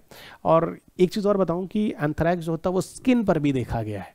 उसको क्यूटिनेशियस एंथ्रैक्स बोलते हैं। और अगर क्यूटिनेशियस मतलब क्यूटिन पर है या स्किन पर है तो उसको हाइट पोर्टस डिज़ीज़ के नाम से भी जानते हैं। जनरली uh, एंथ्रैक्स में स्टैंडर्ड ट्रीटमेंट है। 60 डेज़ एक कोर्स है एंटीबायोटिक का वो वो चलाने से आप पूरी तरह से सेफ़ हैं। ठीक है ना? ये बचा लेता आपको लेकिन हाँ अगर एंटीबायोटिक वगैरह आप नहीं लेते हैं तो ये थोड़ा लेट करते हैं तो ये जानलेवा है। ये चीज़ ध्यान रखिएगा। और बायो टेररिज्म के फॉर्म में है ना जैव आतंकवाद के नाम से एंथ्रैक्स का नाम काफ़ी रहा है। अक्सर कई बार न्यूज़ में भी रहा है कि एनिमी कंट्रीज़ इस तरह का यूज़ करेंगे नहीं कर से करें इस तरह की चीज़ें हैं। बायोलॉजिकल वेपन कन्वेंशन भी इनको लेकर है। बायोलॉजिकल वेपन कन्वेंशन है ना जो अगेंस्ट द बायोलॉजिकल वेपन्स की बात करें तो ये आ, है ना काफ़ी चीज़ें हैं। ठीक है? इस तरह की चीज़ें हैं जो न्यूज़ में रही हैं ठीक है? Intensified mission Indradhanush. कुछ नहीं है जो इंद्रधनुष प्रोग्राम जो आया है उसी को और बढ़ा दिया गया इंटेंसीफाई कर दिया है। कुछ स्टेट्स हैं कुछ ऐसी जगह हैं जहाँ पर अच्छे रिजल्ट्स नहीं आए हैं तो इसी को इंटेंसीफाइड मिशन इंद्रधनुष कर दिया है। तो थोड़ा सा आप ब्रीफ में इंद्रधनुष भी बात कर लेंगे जो 2016-17 में लाया गया ठीक है? और इंटेंसीफाइड के आपको खुद समझ में आ जाएगा ठीक है? यहाँ पे आ, यहाँ पर करना क्या है कि not a single child in a country misses out a vaccination तो आपको खुद पहली लाइन में आपने बोल्ड कर रखा है तो कोई भी बच्चा यहाँ नहीं बचना चाहिए। ये अक्टूबर करंट है तो 31 अक्टूबर का न्यूज़ है, ठीक है? Indradhanush mission Indradhanush two intensified है, जो लाया जा रहा है। और कवरेज उस एरिया में जा रहा है जहाँ पर इम्यूनाइजेशन अच्छी तरह से नहीं है लो इम्यूनाइजेशन है। ठीक है फैक्चुअल डेटा है। फिर मैं कह रहा हूँ क्या कॉन्सेप्ट है? मेडिसिन है दो साल तक के बच्चे कवर होंगे प्रेगनेंट वीमेन कवर होगी। इसमें क्या ऐसा है जो मतलब कॉन्सेप्ट बताना है? कॉन्सेप्ट वाले पार्ट्स हो चुके हैं, अब थोड़ा फैक्चुअल डेटा ही चल रहा है। हेल्थ एंड डिज़ीज़ वगैरह में ज़्यादातर आपको देखिए तो ये फैक्ट ही है। ओके okay, और सुनिएगा। लिखा भी हेल्थ मिनिस्ट्री का मुख्य एम है इसमें कि जनरली जो हर बच्चा जो है इवन दो साल तक की एज तक का बिलो टू साल और प्रेग्नेंट वीमेन इसमें कवर की जाए। और देखो इसमें जो अनकवर्ड है जनरली अभी तक दो सौ इकहत्तर डिस्ट्रिक्ट है ना छः सौ बावन ब्लॉक्स उत्तर प्रदेश और बिहार में इनको ये इंटेंसिव लेवल पर लाने की बात की गई है। इनमें चार राउंड में वैक्सीन लगाने हैं ठीक है? सेवन सेवन डेज़ के इंटरवल पर। ठीक है, ये सारा का सारा प्रोग्राम है, एक मंथ के अंदर इस तरह की चीज़ें हैं जो इसमें लाई गई हैं। इसको पूरा का पूरा सपोर्ट कर रहे हैं बारह मिनिस्ट्रीज़ और डिपार्टमेंट ठीक है, पूरा का पूरा और साथ साथ इसके जो कैबिनेट सेक्रेटरीज हैं नेशनल लेवल पर इसको चला रहे हैं, जो जो मतलब डिस्ट्रिक्ट और इस तरह की चीज़ें छूट गई हैं, उसको पूरी तरह से, उस गैप को भरने की कोशिश है। ठीक है, बाकी इसमें ऐसा कुछ है नहीं जो आपको बताऊँ। देखिए, कुछ डेटा है जो लिखा हुआ 260 लाख बच्चे ऐसे हैं जो हर साल पैदा होते हैं। और उनमें से तकरीबन 31 lakh out of them generally ऐसा है जिनमें वैक्सीनेशन वगैरह जो होता है, वो पहले साल नहीं लग पाता है, इस तरह की दिक्कतें हैं। तो सोचिए हम कितना गलत काम करें जबकि सरकार इस तरह की चीज़ों को फ्री आपके घर तक पहुँचा रही है। ओके मिशन इंद्रधनुष देख लेते हैं, चलते चलते मिशन इंद्रधनुष जो है वो 16 में नहीं सॉरी दिसंबर 2014 में लॉन्च किया गया, ठीक है? और वही इन फुल इम्यूनाइजेशन प्रोग्राम के फॉर्म में लाया गया दो साल तक के बच्चे और तक और प्रेग्नेंट वीमेन को इसके अंदर कवर करने की कोशिश थी। और इंटेंसिफाइड मिशन इंद्रधनुष जो है वो 8 अक्टूबर 2017 को लाया गया और अभी 2019 में इंटेंसिफाइड मिशन इंद्रधनुष 2.0 की बात हम कर रहे थे। तो बैकग्राउंड में ये दो चीज़ें रहेंगी। Mission Indradhanush intensified mission Indradhanush और हम बात कर रहे थे इंटेंसिफाइड मिशन इंद्रधनुष टू। ठीक है, ये सारी चीज़ें हो गई। मिसलेनियस टॉपिक में दो तीन ऐसे आर्टिकल हैं जो थोड़ा मतलब जानने का है। एक जैसे एसबेस्टस जो है वो बेबी पाउडर में देखा गया। जॉनसन एंड जॉनसन जो कंपनी, अमेरिका ने इस बारे में बताया, इन्फॉर्मेशन दिया। करीब थर्टी थ्री हंड्रेड बॉटल उन्होंने बताया कि मतलब उसमें टेलकॉम पाउडर में, यूनाइटेड स्टेट ने कि इसमें एसबेस्टस पाया गया। और एसबेस्टस जो है वो हेल्थ के लिए अच्छा नहीं है। तो यही थोड़ा सा है एसबेस्टस को लेकर ध्यान रखेंगे कि जनरली जो मिला है, कहाँ मिला स्टेट पीसेस के लिए इस तरह के क्वेश्चन हैं। जैसे आपने पूछा था एमएसजी जो है इशू जो चाइनीज़ फ़ूड आइटम में हुआ था तो इसलिए थोड़ा ये, जैसे अभी 2018 में 17 में क्वेश्चन पूछा था एमएसजी पूछा था फिर उसके बाद जो चाइनीज़ फ़ूड आइटम में था मोनोसोडियम ग्लूटामेट उसके बाद लेड जो पेंट में था, वो पूछा था। उसके बाद एक क्वेश्चन उन्होंने और दिया था ब्रोमिनेटेड ऑयल करके दिया था, जो सॉफ्ट ड्रिंक्स में होता है। तो ये जो न्यूज़ में रहता है, थोड़ा आपको टच में रहना चाहिए। तो ये एसबेस्टस है, जो बेबी पाउडर में देखा गया। जॉनसन एंड जॉनसन कंपनी का अमेरिका ने इस तरह का रिपोर्ट भी दिया। एमडीएच मसाला वाला भी हम लोगों ने पीछे बात की थी। ओके लास्ट मंथ में उसको भी थोड़ा ध्यान रखिएगा उसको भी रिपोर्ट हुआ था कि इंडिया में इस तरह की दिक्कत है ओके. जनरली जो टॉल्क यानी जो पाउडर है, जो यूज़ करते हैं, उसमें एस्वेस्टस जो है जनरली जो पाउडर है ना, वो एक पत्थर है एक तरह का, उसको घिसकर उसी से बनता, बहुत ही सॉफ्ट है वो एक क्ले मिनरल्स है है ना क्ले मिनरल्स है, बहुत ही सॉफ्ट मिनरल्स होते हैं, उनको यूज़ किया जाता है। और एस्बेस्टस जनरली जो है वो अंडरग्राउंड है, यानी इनमें देखा गया है तो इनसे निकालते समय उसको जनरली क्या किया गया, उसको फिल्टरेट नहीं किया गया। तो वही बता रहे हैं कि जो टाल्क है है ना, या जो पाउडर है, उसके अंदर वो चीज़ जिस पत्थर से घिसकर हम बनाते वो सॉफ्ट होता है बहुत ही सॉफ्ट पत्थर इस तरह की चीज़ें तो वही देखा गया क्योंकि वो अंडरग्राउंड है तो उन पत्थरों में मिल गया, और उनके साथ वो जाकर जब उनको कंटेनर में अच्छा एक बात और बताता हूँ, ये ना क्रॉस कंटेमिनेशन करता है। मतलब अगर आप बॉडी पर लगाते हैं कुछ करते हैं तो इससे ना क्रॉस कंटामिनेशन होता है। किसी दूसरे चीज़ के साथ मिलकर ये ज़्यादा इफ़ेक्टिव हो जाता है। फाइन तो वही एक रिपोर्ट था जो यहाँ पर आया था। और एस्बेस्टस देखें तो ये सिलिकेट जो मिनरल्स होते हैं, जो पाए जाते हैं मृदा वगैरह में या अर्थ वगैरह या रॉक्स वगैरह में, उनमें से छः नेचुरल में से एक सिलिकेट मिनरल में से एस्बेस्टस भी आते हैं। तो जो छः प्राकृतिक चीज़ें उनके अंदर हैं, उनमें से एक एस्बेस्टस भी है सिलिकेट मिनरल्स के अंदर। तो ये है जो एक न्यूज़ और ये ये जो एस्बेस्टस होते हैं, बहुत कलर के होते हैं फाइन उसमें कुछ लिया भी उस पर जाने की ज़रूरत नहीं है। ब्लू कलर होता है ब्राउन कलर होता है वाइट होता है ग्रीन होता है। तो ये वाइट वाला ही जनरली जो भी है, उसके ऊपर मिक्सअप हुआ है, ठीक है? अच्छा एक बात और बताऊँ, इसके ना फ़िलहाल और भी बहुत सारे काम है एसबेस्टस वगैरह के, ये आपको जानना चाहिए, क्योंकि वन, टू, थ्री, फोर में पूछ सकता है ना, वो पॉजिटिव वाली बात हो गई, है ना? हेल्थ इफ़ेक्ट में बताता हूँ, पॉजिटिव में होगा जैसे साउंड एब्जॉर्प्शन में, है ना, यूज़ करते हैं, एवरेज टेंसाइल स्ट्रेंथ, किसी को टेंसाइल स्ट्रेंथ देना, मजबूती देनी है ना उसमें उसमें मिलाते हैं, है ना, एफोर्डेबिलिटी की मतलब होता है उसकी अफोर्डेबिलिटी उसकी लाइफ बढ़ाने में यूज़ किया जाता है किसी चीज़ में, चलिए मेटल वेटल में जब हम बनाते हैं, इन चीज़ों को मिला देते हैं, ठीक है? उसके बाद फायर रजिस्टेंस वगैरह में इसको इसको यूज़ करते हैं। अब जैसे तार वार है, उसमें अगर थोड़ा मिला दें तो ये मेल्ट वेल्ट नहीं होगा, थोड़ा रेजिस्टेंस रहेगा। फिर साथ साथ इसमें इंसुलेशन का भी काम हो जाएगा। इंसुलेशन की भी तरह काम होगा। हीट है इलेक्ट्रिसिटी है तो इस तरह का रजिस्टेंस रहेगा इसमें, है ना? हीट पास नहीं होगा। यानी कहने का मतलब इंसुलेशन हो जाएगा। बिल्डिंग इंसुलेशन कर लीजिए वायर इंसुलेशन कर लीजिए, जो वायरिंग वायरिंग करते हैं, ठीक है? तो उसको आप इंसुलेट कर लीजिए। इस तरह की चीज़ें हैं।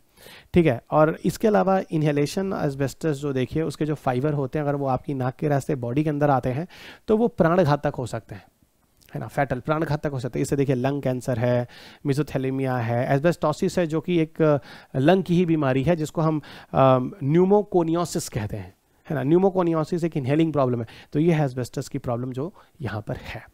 आगे बढ़ते हैं ट्रांस फैट पर बात करते हैं। ट्रांस फैट के बारे में बात आपको बताऊँ कि ये बहुत ही गंदा फैट है। और ट्रांस फैट पे यूपीएससी ने क्वेश्चन पूछा भी है दो हज़ार ग्यारह, बारह के आसपास देखिएगा पेपर में। ये टॉपिक मिसलेनियस टॉपिक में मैंने लिखा हुआ है चैप्टर नंबर ग्यारह तो यहाँ भी देखिए आप मिसलेनियस में ही देख रहे हैं। असल में एफ़ का एक रिपोर्ट क्या है, उन्होंने लॉन्च किया है, जिसका नाम है food safety and standard authority of India okay food safety and standard authority of India ये ऐसी बॉडी है जो फ़ूड प्रोडक्ट्स को चेक करती है सर्टिफाई करती है। उसने एक ट्रांस फैट फ्री लोगो शुरू किया है। यानी जो प्रोडक्ट आप ले रहे हैं, वो उसमें ट्रांस फैट नहीं है। F S S A I अच्छा। इसका पर्पस क्या है भाई? ईट राइट इंडिया ठीक है? ये मूवमेंट है एफएसआई का। तो आप सही चीज़ें खाइए। इंडिया सही चीज़ें खाए। एक बात और बताता हूँ कि जो ट्रांस फैट होते हैं या ट्रांस फैटी एसिड आप कुछ भी बोलिए, है ना, ये बहुत ही खतरनाक होते हैं। और ज़्यादातर अगर बताऊँ ना तो ये सिंथेटिक होते हैं। ये ट्रांस फैट जो होते हैं, वो सिंथेटिक होते आप ध्यान देना, जब आप कुरकुरे खाते हैं तो जब आप कुरकुरे खाते हैं, उसमें लिखा होता है ट्रांस फैट फ्री ओके क्योंकि ट्रांस फैट वाले प्रोडक्ट्स ये अलाउ है ही नहीं। ओके आप मुझे एक बात बताइए, आप मार्केट में जाइए और आपको दस रुपए का आपको ये क्या बोलते हैं ब्रेड पकौड़ा मिल जाता है। भैया, कैसे मिल सकता है? ब्रेड तो अच्छी क्वालिटी का नहीं हो सकता। उसमें आलू लगा रहा है, उसको तेल लगा रहा है समझिएगा, बेसन से लपेट रहा है, तेल लगा रहा है एलपीजी जला रहा है, उसका अपना फ़ायदा भी आना चाहिए, दुकान का रेंट भी है, कैसे आएगा? तो आप खुद समझिए लोग कोशिश ये होती है यहाँ पर जितना सस्ता से सस्ता, जो केमिकल ओमिकल वाले तेल है, यानी ट्रांस फैट सिंथेटिक फैट मैं इनडायरेक्टली आपको एक इन्फॉर्मेशन दे रहा था, इस तरह की चीज़ें यहाँ पर यूज़ की जा रही हैं। तो ट्रांस फैट का मतलब जनरली ये सिंथेटिक फैट होते हैं। है ना? ज़्यादातर ये लार्जली अगर देखिए आप तो लार्जली जो ये बनते हैं, वो आर्टिफिशियली ही बनते हैं। सिर्फ़ कुछ ही ऐसे हैं जो नेचुरली पाए जाते हैं ट्रांस फैट यानी सिंथेटिक फैट जो आपको दस रुपए में आपको ब्रेड पकौड़ा दे रहा है, आलू वालू सब लगाकर बेसन वेसन और रूम रेंट वेंट देकर, उसकी बात बता रहा हूँ तो जनरली वहाँ पर संभव नहीं है, ठीक है? तो ये ट्रांस फैट यूज़ करते हैं। अब ये जो आर्टिफिशियल ट्रांस फैट है या ट्रांस फैटी एसिड है, एक ही बात है ना? ये जो बनाया जाता है हाइड्रोजन में, है ना? देखो लिखा है formed when hydrogen is made to react with the oil यानी यहाँ पर असल में क्या होता है कि हाइड्रोजिनेशन एक प्रक्रिया है ठीक है, जिसके द्वारा हम इस चीज़ को बनाते हैं और बिल्कुल जो यहाँ पर ऑयल बनता है, दिखने में एकदम घी की तरह दिखता है प्योर घी की तरह दिखता है। और थोड़ा सेंट डाल दीजिए, खुशबू भी हो जाती है और आप इस तरह के साठ रुपये किलो, अस्सी रुपये किलो घी आप मार्केट में भेजते हैं। ठीक है, जो कि सिंथेटिक है। चलिए तो चीज़ें थोड़ा ध्यान रखिएगा। सिर्फ़ मैं आपको एक बात बता दूँ कि इस तरह की चीज़ें जो होती हैं, वो प्योर घी का सब्सिट्यूट तो है, लेकिन वो प्योर घी नहीं है। और एक बात ये देखिए डब्ल्यूएचओ ने क्या बोला है? डब्ल्यूएचओ ने बोला है कि दोस्त, आप एक ऑफ़ टोटल एनर्जी इनटेक है ना, जो भी है, उससे कम। है ना, इस तरह के फैट कीजिएगा, उससे ज़्यादा नहीं। और ये टोटल एलिमिनेशन जो है इसको, है ना limited to less than one percent total energy intake ये डब्ल्यूएचओ का रिकमेंडेशन है। और it is called the total elimination इसको ख़त्म कर दीजिए 2023 तक। तो 2023 तक हम ट्रांस फैट या ट्रांस फैट एसिड पूरी तरह से ख़त्म कर देंगे और अभी रिकमेंडेशन कितना है? वन परसेंट से कम। उससे ज़्यादा आप ट्रांसफैट अलाउ नहीं करेंगे। इसलिए मैंने बोला, कुरकुरे वगैरह देखिए। ये तो डब्ल्यू एच है। भारत भी देख लीजिए ना, भारत का रिकमेंडेशन है। एफएसएसआई क्या कहता है? इंडिया की जो बॉडी है फ़ूड वाली, ये कहती है कि भाई देखो, है ना टी एफ़ ए की लिमिट जो है, हम दो परसेंट तक करेंगे, उसके ऊपर नहीं जा सकते हैं, और हम इस ट्रांस फैटी एसिड को 2022 तक पूरी तरह से एलिमिनेट कर देंगे। यानी जिस प्रोडक्ट में, अगर कुरकुरे भी लिखे कि हम ट्रांसफैट लिख यूज़ कर रहे हैं, दो परसेंट से कम तो अलाउ है। लेकिन हाँ उसके ऊपर नहीं। वो अलग बात है कि आप कुरकुरे देखें उसमें लिखा है, क्योंकि मैं कुरकुरे खाया हूँ, मैंने देखा तो उसमें लिखा है ट्रांसफैट फ्री बिल्कुल फ्री लिखा है तो बिल्कुल नहीं है। ठीक, इस तरह की बात है। अच्छा एक चीज़ और है जो लास्ट में तीन टॉपिक हैं, जो यहाँ पर मैं आपको बताऊँगा, उसके साथ वीडियो ख़त्म हो जाएगा। अक्टूबर मंथ में हर वर्ष, अब ध्यान देंगे, अक्टूबर मंथ में हर वर्ष नोबल प्राइज़ दिए जाते हैं। और वो नोबल प्राइज़ आपके लिए इंपॉर्टेंट हो जाते हैं, वो न्यूज़पेपर में आने लगते हैं उस साल। जिसको दिया जाएगा, क्या दिया जाएगा, ये सारा का सारा। तो अब हमको हर मंथ में अक्टूबर का करंट अफेयर्स पढ़ेंगे, आपको तीन Nobel prize science and tech में पढ़ते हैं। कौन कौन से? एक फिजिक्स का आपके ऊपर दिख रहा है, दूसरा केमिस्ट्री का जो आपको नीचे दिख रहा है, और तीसरा मेडिसिन या ह्यूमन फिजियोलॉजी का, यानी हेल्थ वाला, वो हम इसके बाद तीसरे वाले पे बात करेंगे। तो आइए दोस्त, हम इन तीनों पे बात कर लेते हैं क्या क्या इशू रहा है। एक बात और ध्यान रखिएगा। अगर आप स्टेट पीसीएस देते हैं तो किन बंदों को दिया गया है, कहाँ के हैं थोड़ा ध्यान रखिएगा। यूपीएससी देते हैं तो बिल्कुल नहीं, जिस लॉजिक पर दिया गया है, उस लॉजिक का क्या इंपॉर्टेंस है है ना, किस कंसेप्ट पर दिया गया है, वो ध्यान रखेंगे आपको। उसके अगर कोई एप्लीकेशन है तो क्या है? तो आपको समझ में आ गया कि facts state UP MP Rajasthan, इस तरह के एग्ज़ाम उत्तराखंड, है ना, झारखंड, है ना, बिहार, इस तरह का जा रहे हैं तो आप देखेगा और कंसेप्ट अगर आप यूपीएससी जा रहे हैं और कंसेप्ट का फैक्ट कि किस कंसेप्ट पर वो तो आप स्टेट के लिए भी ध्यान रखेंगे। पर पूरा लॉजिकल है ना, वो इस पर है। आइए दोस्त, हम बात करते हैं यहाँ पर अक्टूबर मंथ में फिजिक्स के नोबल प्राइज पर 2019 का। तो ठीक है कैनेडियन अमेरिकन कॉस्मोलॉजिस्ट हैं जेम्स पेबल्स को और स्विस एस्ट्रोनॉट एस्ट्रोनॉमर्स हैं माइकल मेयर और डेडलर क्वेटलॉट्स को। तो तीन शख्स हो गए, एक हो गया पेबल एक हो गया मेयर एंड क्वेलॉच को। तो पेबल अच्छा 2019 का प्राइज दिया गया। असल में इनका जो पर्पस था, इन्होंने ब्रह्मांड को समझने में मदद की। तो इनकी मदद से ही हम लोगों को ब्रह्मांड के बारे में काफ़ी कुछ जानने को मिला, काफ़ी कुछ समझने को मिला। यानी ये कंसेप्ट आपको एस्ट्रोनॉमी और पार्टिकल फिजिक्स वाले चैप्टर में और ज़्यादा डिटेल में मिल जाएगा। पेबल ने क्या किया? पेबल की क्या फाइंडिंग है? पहले पेबल का देख लेते हैं, फिर उसके बाद माइकल मेयर और डिडियर क्वेलॉज को देख लेते हैं। इन लोगों का क्या क्या कॉन्ट्रीब्यूशन तो ये हो गया आप एक कैनेडन अमेरिकन और ये हो गया माइकल मेयर और डिडियर क्वेलेज ये आपको हो गए कहाँ से? स्विस के हो गए, ठीक है? तो स्विट्जरलैंड वगैरह के ये वैज्ञानिक हो गए। आइए, अब देखिए, पहले तो हम लोग बात करते हैं पेबल्स की फाइंडिंग क्या है। पेबल की फाइंडिंग क्या है कि ब्रह्मांड जो है बिग बैंग के बाद कैसे आया, उसकी अंडरस्टैंडिंग के बारे में इन्होंने समझाया था। ठीक है? ब्रह्मांड बिग बैंग अब आप जानते हैं thirteen point six billion year ago तेरह दशमलव छः बिलियन साल पहले एक घटना हुई थी। और उस घटना को पूरी जोग्राफी में, पूरे ब्रह्मांड में पार्टिकल फिजिक्स यानी साइंस एंड टेक का कोई टीचर हो जोग्राफी का कोई टीचर हो, जब वो शुरुआत करता है, पृथ्वी पढ़ाता है तो पीछे ब्रह्मांड से शुरू करता है। और कहता है कि बिग बैंग थियरी ही सबसे ज़्यादा कारगर है आज तक, क्योंकि वही प्रूफ हो पा रही है आज के वैज्ञानिकों द्वारा। ठीक है तो वही बिग बैंग के बारे में, कैसे ब्रह्मांड आया, क्या चीज़ें हुई, उसके बारे में जानकारी थी ठीक है? तो पार्टिकल फिजिक्स का अगर आपने लेक्चर मेरा सुना है क्लास में तो जो विद्यार्थी मेरे हैं, जो मुझे सुन रहे हैं, मेरे विद्यार्थी ने मुझे सुन चुका है क्लास में समझ रहे हैं हाँ सर, आपने बोला था कि वो बहुत ही कंडेंस फॉर्म में था, है ना, ब्रह्मांड, और बहुत डेंस था टेम्परेचर बहुत ज़्यादा था, उस समय ब्रह्मांड में अंधेरा था, पूरा ब्रह्मांड एक छोटे से पार्टिकल के अंदर था। ठीक है तो वही वाली कहानी जो मैंने क्लास में समझाई है वही कॉन्सेप्ट है ठीक है? तो जो लोग अभी सुन रहे हैं कोई बात नहीं कभी मौका मिला तो आप हमसे सुनेंगे तो मैं आपको बताऊँगा ठीक है?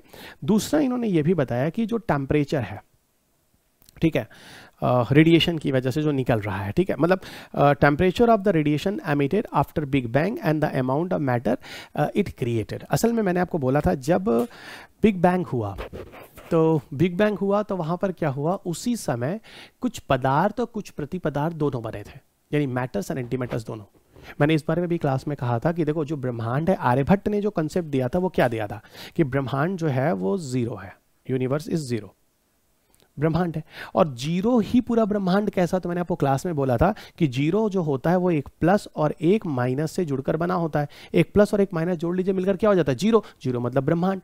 प्लस को हमने क्या बोला? मैटर और माइनस को हमने क्या बोला? एंटी मैटर या आप इसको एंटी मैटर कह लीजिए, इसको मैटर कह लीजिए, यानी पदार्थ और प्रति पदार्थ तो ब्रह्मांड और ज़ीरो क्या हो गया ब्रह्मांड? तो ब्रह्मांड किससे मिलकर बना हुआ है? पदार्थ और प्रति पदार्थ से। तो वही मैं कह रहा हूँ, जब बिग बैंग घटना हुई, उस समय पदार्थ और प्रति पदार्थ बने। तो वो पदार्थ और प्रति पदार्थ यानी मैटर एंटी मैटर्स है ना, उस समय जो टेम्परेचर और रेडिएशन जो वहाँ से निकले उस सब कहाँ से आए, कैसे आए, इसकी जानकारी भी इस शख्स ने दी थी। सोचिए ब्रह्मांड के बारे में कितनी सारी चीज़ों इस इस शख्स ने बताई हैं। और सुनिएगा, इतना ही नहीं, इन्होंने बोला कि जो मैटर है, जो नोन है, ठीक है ना? जो मैटर है, जो नोन है, जैसे स्टार्स हैं प्लैनेट्स हैं, है ना? जो, और हम लोग भी हैं, हम लोग आवर सेल्फ भी हम लोग जो आते हैं ना? ये सब के सब मैटर्स हैं। ठीक है? ये तकरीबन पाँच परसेंट के आसपास हैं जो अभी तक हैं, और 95 परसेंट अभी तक अननोन डार्क मैटर और डार्क एनर्जी हैं जो ब्रह्मांड में मौजूद है। वही डार्क मैटर डार्क एनर्जी अगर अभी जैसे रात है मेरे पास इस समय दो बज के इक्यावन मिनट हो रहा है ठीक है? है ना? तो आ, मतलब मॉर्निंग है। आप इस समय बाहर जाइए ठीक है? आप जाके देखिए अभी ना तारे दिख रहे होंगे और बीच बीच में अंधेरी जगह होगी। उस अंधेरी जगह में डार्क मैटर और डार्क एनर्जी होते हैं जिसको धूसर पदार्थ और धूसर ऊर्जा बोलते हैं। हिंदी में धूसर पदार्थ और धूसर ऊर्जा बोलते हैं ना, इस तरह की चीज़ें लेकिन डार्क मैटर के इनके बारे में बताया। ज़्यादा पता नहीं है, लेकिन इन्होंने एक नॉलेज दे दिया। अब बताइए इस तरह के बारे में बताने वाले सबके वैज्ञानिक प्रमाणों के आधार पर पेबल की फाइंडिंग थी, जिनको नोबेल प्राइज दिया इस बार फिजिक्स का। दूसरा मेयर और कॉलेज का क्या कहना मेयर और कॉलेज ने एक्सो के बारे में समझाया। एक्जो जो आउटसाइड हमारे सोलर सिस्टम में है, ठीक है ना, हमारे हमारे हमारे, लिखा है solar type star in the milky way हमारे मिल्की वे में जो है, हमारा अपना जो गैलेक्सी है के अंदर जो बात हो रही है मिल्की वे, इसी तरह मिल्की वे में बहुत सारे सोलर सिस्टम होंगे। तो उन्होंने अपने सोलर सिस्टम के बाहर दूसरे सोलर सिस्टम, है ना एक्जो की जानकारी दी और इन्होंने ही कहीं ना कहीं डॉपलर इफ़ेक्ट के बारे में भी समझाया, जिस डॉपलर इफ़ेक्ट के बेसिस पे ही हम लोग कह रहे हैं, भैया देखो, ब्रह्मांड अभी भी फैल रहा है। तो इस कंट्रीब्यूशन की वजह से इन्होंने भी ब्रह्मांड के समझ में काफ़ी मदद दी। है ना? और इन्होंने बताया कि जो इन्होंने जो गैसियस बॉल की तरह स्ट्रक्चर्स जो इन्होंने देखा ना, जो डिटेक्ट किया, वो बिल्कुल जुपिटर की तरह दिखता है। और जो जो हम, जो अगर हम सन से बात करें, तकरीबन 50 लाइट ईयर दूर है। ठीक है, इस तरह की गणना, इस तरह की चीज़ों के बारे में माइकल मेयर और डिडियल क्वेलोज ने बताया था, जिनको फिजिक्स का नोबल प्राइज़ दिया गया। केमिस्ट्री का जो नोबल प्राइज़ दिया गया, वो एक्चुअल में जॉन बी गुडनफ और एम स्टैनले विटिंगनम और साथ साथ एक और शख्स है अकीरा योसिनो इन तीनों को मिलाकर दिया गया लिथियम आयन बैटरी के लिए वही लिथियम आयन बैटरी है जो आज छोटे से ऑब्जेक्ट से लेकर, छोटे से ऑब्जेक्ट से लेकर, है ना? यानी एक छोटे से मोबाइल फ़ोन से लेकर बड़े से लॉन्च व्हीकल के सैटेलाइट्स को ले लीजिए, जिससे सैटेलाइट से सिग्नल्स आते हैं, उसमें, उस बैटरी में, उस उस उस बैटरी जो होती है, उसमें लगाई जाती है लिथियम आयन बैटरी वहाँ तक प्रयोग में लाई जाती है। ओके okay, आज आप जब भी जब भी मोबाइल खरीदते हैं तो बिल्कुल शॉपकीपर से पूछते हैं भैया इसकी बैटरी की लाइफ कितनी होगी? तो वो कहीं ना कहीं बैटरी एफिशिएंसी वाला लिथियम आयन बैटरी और फ़ोन आपका महँगा भी हो जाता है। ठीक है इतना एम की बैटरी है या कितने की है ना? ये सब चीज़ें। अच्छा लिथियम आयन बैटरी जो है लिथियम आपको बताऊँ ये सबसे लाइटेस्ट है सारे मेटल्स में। जितने भी धातु वता हम यूज़ करते हैं इसमें काफ़ी हल्का है। और अच्छा खासा इलेक्ट्रोकेमिकल पोटेंशियल है, ठीक है, जो लार्जेस्ट एनर्जी डेंसिटी है मतलब वेट के हिसाब से बात करें तो ऊर्जा को काफ़ी हद तक अपने अंदर स्टोर करके रख सकता है। तो ठीक है बैटरी एक चार्ज हो गई, काफ़ी लंबा चलेगी। दूसरी चीज़ मैं बताऊँ लिथियम आयन जो है एक सेफ़ है और सडन प्रिकॉशंस के साथ इसको यूज़ करना होता है, ठीक है। चार्जिंग डिस्चार्जिंग जो होती है, इसकी होती सबसे पहले उन्नीस सौ इक्यानवे में Sony Corp Sony Corporation commercialise ने इसको कॉमर्शलाइज किया था, पहला लिथियम आयन बैटरी बाद में में और कंपनियाँ वगैरह इसको लेकर है पर इसका पूरा जो कॉपीराइट पेटेंट है, वो उन्हीं कंपनियों का है। ठीक है, अब कुछ चीज़ें हैं जहाँ पर ये इंपॉर्टेंट एक तो एनर्जी डेंसिटी जो लिथियम की है, वो दो गुना है। नॉर्मल जो निकिल और कैडमियम की जो बैटरीज यूज़ की जाती थी, उनसे दो गुना है। ठीक है डेंसिटी है तो अच्छा खासा एनर्जी इसमें स्टोर हो रही है। तो बैटरी ज़्यादा चलेगी, सीधा कहने के बाद। दूसरा, इसमें ना एनर्जी डेंसिटी ज़्यादा है। तीसरी बात कह रहे हैं कि ये निकल कैडमियम की तरह ही बिहेव करता है। ठीक है और डिस्चार्जिंग वगैरह जो होती थोड़ा इसमें कम होती। असल में क्या होता है ना बैटरी बैटरी के भी ना चार्जिंग वार्जिंग धीरे धीरे खत्म होती तो वही कह रहे हैं इसमें उस तरह के डिस्चार्जिंग वगैरह है ना? डिस्चार्ज वगैरह अगर रिस्पेक्ट में देखें तो ये सिमिलर टाइप से ही है लेकिन फिर भी थोड़ा बेटर है ठीक है? थोड़ा बेटर है उसे। लिथियम आयन में मेंटेनेंस जो है वो लो है नॉर्मल बैटरी की कंपेरिजन में। आ, लिखा भी देखो self discharge is less than the half compare to nickel करने। मैंने आपको पहले ही बोला था ऊपर करीब करीब लेकिन यहाँ पर प्रॉपर उससे बेटर है। अच्छा एक चीज़ और है कि लिथियम आयन सेल्स को अगर हम करें तो इसको थोड़ा सा डिस्पोजल में थोड़ी सी दिक्कत आती है। जिन चीज़ों से लिथियम आयन है इनको इनको डिस्पोज मतलब ई वेस्ट के फॉर्म में बात कर रहे हैं, वहाँ पे थोड़ी दिक्कत है, ठीक है? लिमिटेशंस पे नहीं जाते हैं तो ये लिथियम आयन बैटरी है जिस पर इन्होंने अच्छी खासी एक्सपेरिमेंट किए हैं और इन चीज़ों के बारे में बताया। एक कंसेप्ट यहाँ पर नोबल प्राइज ऑफ़ फिजियोलॉजी या मेडिसिन का है है ना? तीसरा जो देखिए साइंस एंड टेक में तीन ही नोबल प्राइज हैं जो हमेशा पढ़ने। तो ये तीसरा नोबल प्राइज है सुनिएगा किसको दिया गया? विलियम जी कैलिन को दिया गया ठीक है? फिर आपको यहाँ है आ, sir Peter Peter J Ratcliffe को दिया गया और ग्रेग एल सेमेंजा को दिया गया है ना? इनका जो पूरा कंट्रीब्यूशन है इन्होंने बताया है कि कैसे जो कोशिकाएँ सेंस करती हैं हमारी बॉडी के अंदर ऑक्सीजन की अवेलेबिलिटी को। ठीक है, यानी हमारे शरीर की कोशिकाओं के द्वारा ऑक्सीजन की अवेलेबिलिटी को पूरा किया जाता है। कहने का तात्पर्य यह है, इसके बारे में पूरी स्टडी कर, पूरा डिटेल में बताया। इन लोगों ने मिलकर इसलिए इनको ह्यूमन फिजियोलॉजी और मेडिसिन का नोबल प्राइज़ दिया गया। ठीक है, अब जैसे जब हम पहाड़ों पर जाते हैं तो कुछ ना कुछ ऐसा होता है जिससे हमारी बॉडी के अंदर हमारे ब्लड फॉर्मेशन वगैरह आरबीसी की संख्या बढ़ जाती है, या हमारे लंग लाइज फैल जाते हैं जैसे ऑक्सीजन सप्लाई ज़्यादा हो जाती है, हमारी ज़िंदगी बच जाती है। तो ये चीज़ें हमारी बॉडी के अंदर जो जीन्स होते हैं ना, उनके रिस्पॉन्स से होता है। और ये सेल के जो जीन होते हैं ना हमारे सेल के अंदर जो होता है न्यूक्लियस होता है न्यूक्लियस के अंदर क्रोमोजोम होता है क्रोमोजोम के अंदर डीएनए होता है और डीएनए के अंदर जीन होता है। तो यानी जो सेल के अंदर जीन होते हैं ना, उन्हीं के इन्फ्लुएंस से ऐसा होता है। तो उसी बारे में इन्होंने डिटेल में बताया, जिसके लिए इनको नोबल प्राइज दिया गया। तो थोड़ा सा इनको मैं ब्रीफ में कर देता हूँ, आप ये कॉन्सेप्ट को ठीक से समझ जाएँगे। तो सुनिए इसमें होता क्या है। ठीक है, अब देखिए जैसे जैसे जब हम जब हम सांस लेते हैं, ठीक है तो उसकी जो एक दर होती है उसी हिसाब से हमारी बॉडी में जो ऑक्सीजन होता है, वो लिया जाता है और वो ऑक्सीजन हमारे ब्लड में एब्जॉर्ब होकर पूरी बॉडी में ले जाता है। असल में क्या होता है, हमारा जो नाक है और हमारा जो हार्ट है, यानी हमारा नाक नाक किससे जुड़ा है? हमारे लंग से, यानी हमारे फेफड़े से। है ना नोज़ हमारे लंग से जुड़ा हुआ है। और दूसरा हमारा जो ब्लड सर्कुलेटरी सिस्टम है वो हमारे हृदय से जुड़ा हुआ है। तो हम जो सांस लेते हैं वो हमारे आर्टरीज में जाकर वो ऑक्सीजन एब्जॉर्व हो जाता है। सुना होगा पल्मोनरी आर्टरी पल्मोनरी वेन इस तरह के फुफ्फुस धमनी फुफ्फुस सिरा इन तरह के धमनी सिराओं से होकर वो आ, ब, जो लंग्स होता है उसके साथ एक्सचेंज होता है। ब्लड शुद्ध और अशुद्ध होता है। तो वही ऑक्सीजन मिक्सडअप होता है तो ब्लड शुद्ध हो जाता है। और जब सी निकल कर सी आता है उस ब्लड में तो वो ब्लड अशुद्ध हो जाता है इम्प्योर हो जाता है। वही यहाँ पर कंसेप्ट है। इस तरीके से हमारी बॉडी में ब्लड और, यानी हार्ट और रेस्पिरेटरी सिस्टम और सर्कुलेटरी सिस्टम दोनों मिलकर काम करते हैं। ठीक है? अच्छा। अब यहाँ पर सुनिएगा। होता क्या है? समझिएगा। साइंटिस्ट ने यह बताया कि कुछ स्पेशलाइज सेल हैं जो हमारी किडनी के अंदर पाए जाते हैं। वो क्या करते हैं? हमारी ज़रूरत के हिसाब से इरिथ्रोफाइटिन हार्मोन का निर्माण करते हैं। हमारे किडनी के अंदर के जो सेल होते हैं, वो कुछ कुछ स्पेसिफिक जो सेल होते हैं, जो स्पेशलाइज सेल होते हैं, वो ज़रूरत के हिसाब से इरिथ्रोपाइटिन हार्मोन का निर्माण करते हैं और ये इरिथ्रोपाइटिन हार्मोन किडनी के ही सेल से बनती है।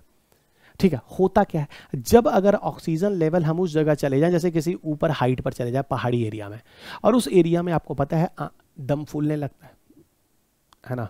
तो जब दम फूलने लगता है, सांस में दिक्कत आती है तो देखिए उस समय करता क्या है? उस समय ये हार्मोन जो होता है प्रोड्यूस करने लगता है। क्या? उस समय आरबीसी के फॉर्मेशन को, क्योंकि हमारा जो ब्लड बनता है वो बोन मैरो से बनता है।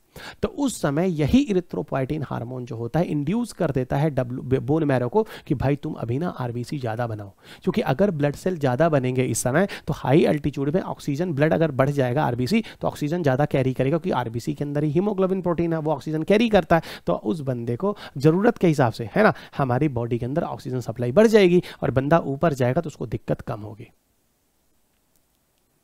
ठीक है? और इतना ही नहीं, सिर्फ़ हमारी बॉडी में रेड ब्लड सेल ही नहीं बनते हैं उस समय आरबीसी बोन मैरो के द्वारा, है ना? इरेथ्रोपाइटिन के इफेक्ट्स है। जबकि उस समय हमारी बॉडी में सिर्फ़ इंक्रीजिंग द आरबीसी ही नहीं होता है, इनकी इनकी संख्या भी बढ़ती है और साइज़ भी बढ़ता है, दोनों इफ़ेक्ट होता है। तो हो सकता है कि आरबीसी की साइज़ थोड़ी बढ़ जाए या हो सकता है आरबीसी की संख्या थोड़ी बढ़ जाए। इस तरीके से हमारी बॉडी में ऑक्सीजन इनटेक को सेल के द्वारा मैनेज किया जाता है और वो सेल वही स्पेशलाइज सेल जो किडनी की है, मैंने आपको समझा दिया इरेथ्रोपोइटिन हार्मोन की वजह से चीज़ें मैनेज होती हैं और पूरा का पूरा कंसेप्ट है जो इन इन लोगों ने समझाया था, जिसके लिए इन्हें नोबल प्राइज मिला है। ठीक है। और ऑक्सीजन सेंसिंग मैकेनिज्म है, जो जो ऑक्सीजन अब जैसे, अब कितना मतलब इंटेलिजेंट काम है। ऑक्सीजन अपने आप हमारी बॉडी सेंस कर है ना? और स्पेशलाइज सेल जो किडनी के अंदर वाले हैं, जो इस तरह के काम कर ऑक्सीजन की सप्लाई का बैलेंस कर देते हैं। और अब बात होती है, इस डिस्कवरी की क्या ज़रूरत है? तो बहुत ज़रूरत है भाई। ठीक है, अब बहुत सारी ऐसी बीमारियाँ हैं, जिसमें लंग्स की बीमारी होती है। बहुत सारी ऐसे केसेस हैं, जहाँ माइटोकॉन्डिया का इफ़ेक्ट अगर बॉडी में है तो उसको हम बढ़ा सकते हैं बेटर कर सकते हैं। और ऑक्सीजन वगैरह की एफिशिएंसी को हम बढ़ा कर, जैसे मान लीजिए लंग्स की इन्फेक्शन हो रहा है किसी को। मान लीजिए स्वाइन फ्लू है। मान लीजिए कोरोना वायरस का इफ़ेक्ट है। तो सीधा मतलब है, इन सब केसेस में कहीं ना कहीं हम ट्रीटमेंट कर सकते हैं। ठीक है, इन सब केसेस में कहीं ना कहीं हम ट्रीटमेंट कर सकते हैं। बहुत सारे उपापचय प्रक्रियाओं को मेटाबॉलिक एक्टिविटीज़ उनको शरीर के अंदर प्रॉपर तरीके से चला सकते हैं। और आपको पता है, अगर आपका आरबीसी आपका ब्लड अच्छा है, साफ़ है, शुद्ध है एनर्जेटिक है तो आपकी बॉडी में पोटेंशियल इम्यूनिटी भी ज़्यादा है। ठीक है तो इस तरह से आप देखें तो ऑक्सीजन की सप्लाई को बढ़ाकर अपने हेल्थ को अच्छा कर सकते हैं। परमानेंट आप देखिए तो अपने आप देखिए कभी कभी आप लोग ऐसा भी देखा होगा कि ऑक्सीजन सप्लाई जो होता है कभी कभी कम हो जाता है। जैसे आप बहुत ज़्यादा फ़िज़िकल वर्क करें। एक क्वेश्चन जैसे पूछा था कि फटीक के केस में क्या होता है? जो थकान होती है। बहुत ज़्यादा नहीं जब फ़िज़िकल वर्क कर लेते हैं तो हमारे इन एरियाज़ में, हमारे इन एरियाज़ में, है ना? बहुत, यहाँ इस एरियाज़ में कुछ चीज़ें आके एक्यूमुलेट हो जाती हैं। तो उस इसलिए होती हैं क्योंकि वहाँ पर ऑक्सीजन सडनली नहीं पहुँच पाता है एनरोबिक रिस्पिरेशन हो जाता है। और एनरोबिक रिस्पिरेशन अगर बॉडी में कहीं हो गया तो वही ग्लूकोज जो पहले एनर्जी बना रहा था, है ना सी बना रहा था, है ना, वही यहाँ पर एसिड बनाने लगता है, जो लैक्टिक एसिड के फॉर्म में यहाँ एक्यूमुलेट हो जाता है। ये क्वेश्चन बहुत पहले 2007-8 में यूपीएससी में पूछा जाता था। विग्रस एक्सरसाइज करने से बॉडी के अंदर लैक्टिक एसिड वगैरह का फॉर्मेशन हो जाता है। तो उस तरह के जो जो मैकेनिज्म्स होते हैं, उनको भी हम शट आउट कर सकते हैं। इस तरह के अनुसंधान से आगे भविष्य भविष्य में। क्योंकि हम ऑक्सीजन की इनटेक को या तो आरबीसी की संख्या बढ़ाकर या आरबीसी की साइज़ को बढ़ाकर प्रॉपर अपने बॉडी के अंदर ऑक्सीजन सप्लाई को बढ़ाकर आपको बचा सकते तो हम तो यहाँ जितने भी डिस्कवरी जो ऑब्जर्वेशन कह रहे हैं, उसमें मैं तो कोरोना और स्वाइन फ्लू का नाम ज़्यादा लूँगा। तो ये रहा पूरा का पूरा दोस्त, जो करंट अफेयर्स है, अक्टूबर मंथ का और अठारह अक्टूबर मंथ में आपको तीन नोबल प्राइज़ हर साल पढ़ने होंगे। पिछले तीन साल से करंट अफेयर्स लेके आ रहा हूँ। है ना? अलग अलग प्लेटफॉर्म पर अब आपको पता है कि मैं कहीं भी किसी संस्था के साथ नहीं जुड़ा हूँ। पूरी तरह से आप ऑनलाइन प्लेटफॉर्म में आप मुझे यहीं पर पाएँगे पूर्वांचल इसमें आप यहाँ जुड़ते रहें हर साल आपको करंट अफेयर्स में यहाँ पर अपलोड करता रहूँगा। सो so, ये पूर्वांचल इसका एड्रेस है। अगर आप कोई भी मटेरियल या पूरा इंटायर करस्पॉन्डेंस मटेरियल है दोस्त जो जो जैसे साइंस एंड टेक है इन्वायरमेंट के बुक है ऐसी पूरा का पूरा बारह बुक्स है और अगर आप बुक पढ़े होंगे तो आप समझ रहे हैं कि बुक किस तरह से लिखी गई है। उसी प्रिंसिपल पर सारा कंटेंट डेवलप किया गया है पूर्वांचल इसके इंटायर टीम के द्वारा। ठीक है, साथ ही साथ मटेरियल है या बुक्स है, आप जो भी लेना चाहें, आप सारी चीज़ें ले सकते हैं। इन नंबर पर दिए और फेस टू फेस क्लासेस हैं। अगर आप गोरखपुर के आसपास रहते हैं, मत जाइए, दिल्ली या कहीं भी, है ना? आप यहीं रहिए, सस्ता है अच्छा है, टिक्कू है, टिकाऊ है, ठीक है? इकोनॉमिकल इंस्टीट्यूशन है, हम सब वही हैं जो कहीं आप लोग हम देखते हैं। वहीं मिल जाएँगे। आजकल वैसे भी कोरोना का इम्पैक्ट है। ठीक है, बाहर आना इस समय इज़ नॉट सेफ़ आप घर ही रहिए, वहीं पढ़ लीजिए। ठीक है, हम आपको वहीं मौजूद मिल जाएँगे। आसपास एरिया में है। ठीक है, और बहुत ज़्यादा सीट भी नहीं है, हम करीब 400-500 बैठाते नहीं हैं। ठीक है, कम की स्ट्रेंथ रहती है तो यहाँ पर आप दूर दूर डिस्टेंस मेंटेन करके बैठिए।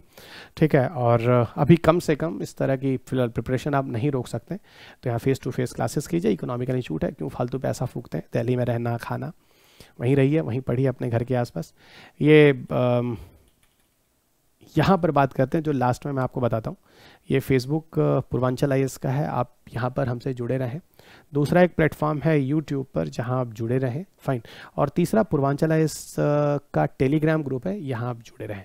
ये तीन प्लेटफॉर्म है, यहाँ आप जुड़े रहें। और आप चाहें तो आप मुझे भी फॉलो कर सकते हैं। लेकिन फिर वही बात है कि ज़्यादा फॉलोअर बनाने की ज़रूरत है नहीं, क्योंकि आजकल ना थोड़ा मार्केट बन चुका है लाइक्स होने चाहिए सब्सक्राइबर होने तो लाइक्स वाइक सब्सक्राइबर आप जानते हैं, पैसा फेंकिए, आपके लाइक्स और सब्सक्राइबर बढ़ जाते हैं, ठीक है?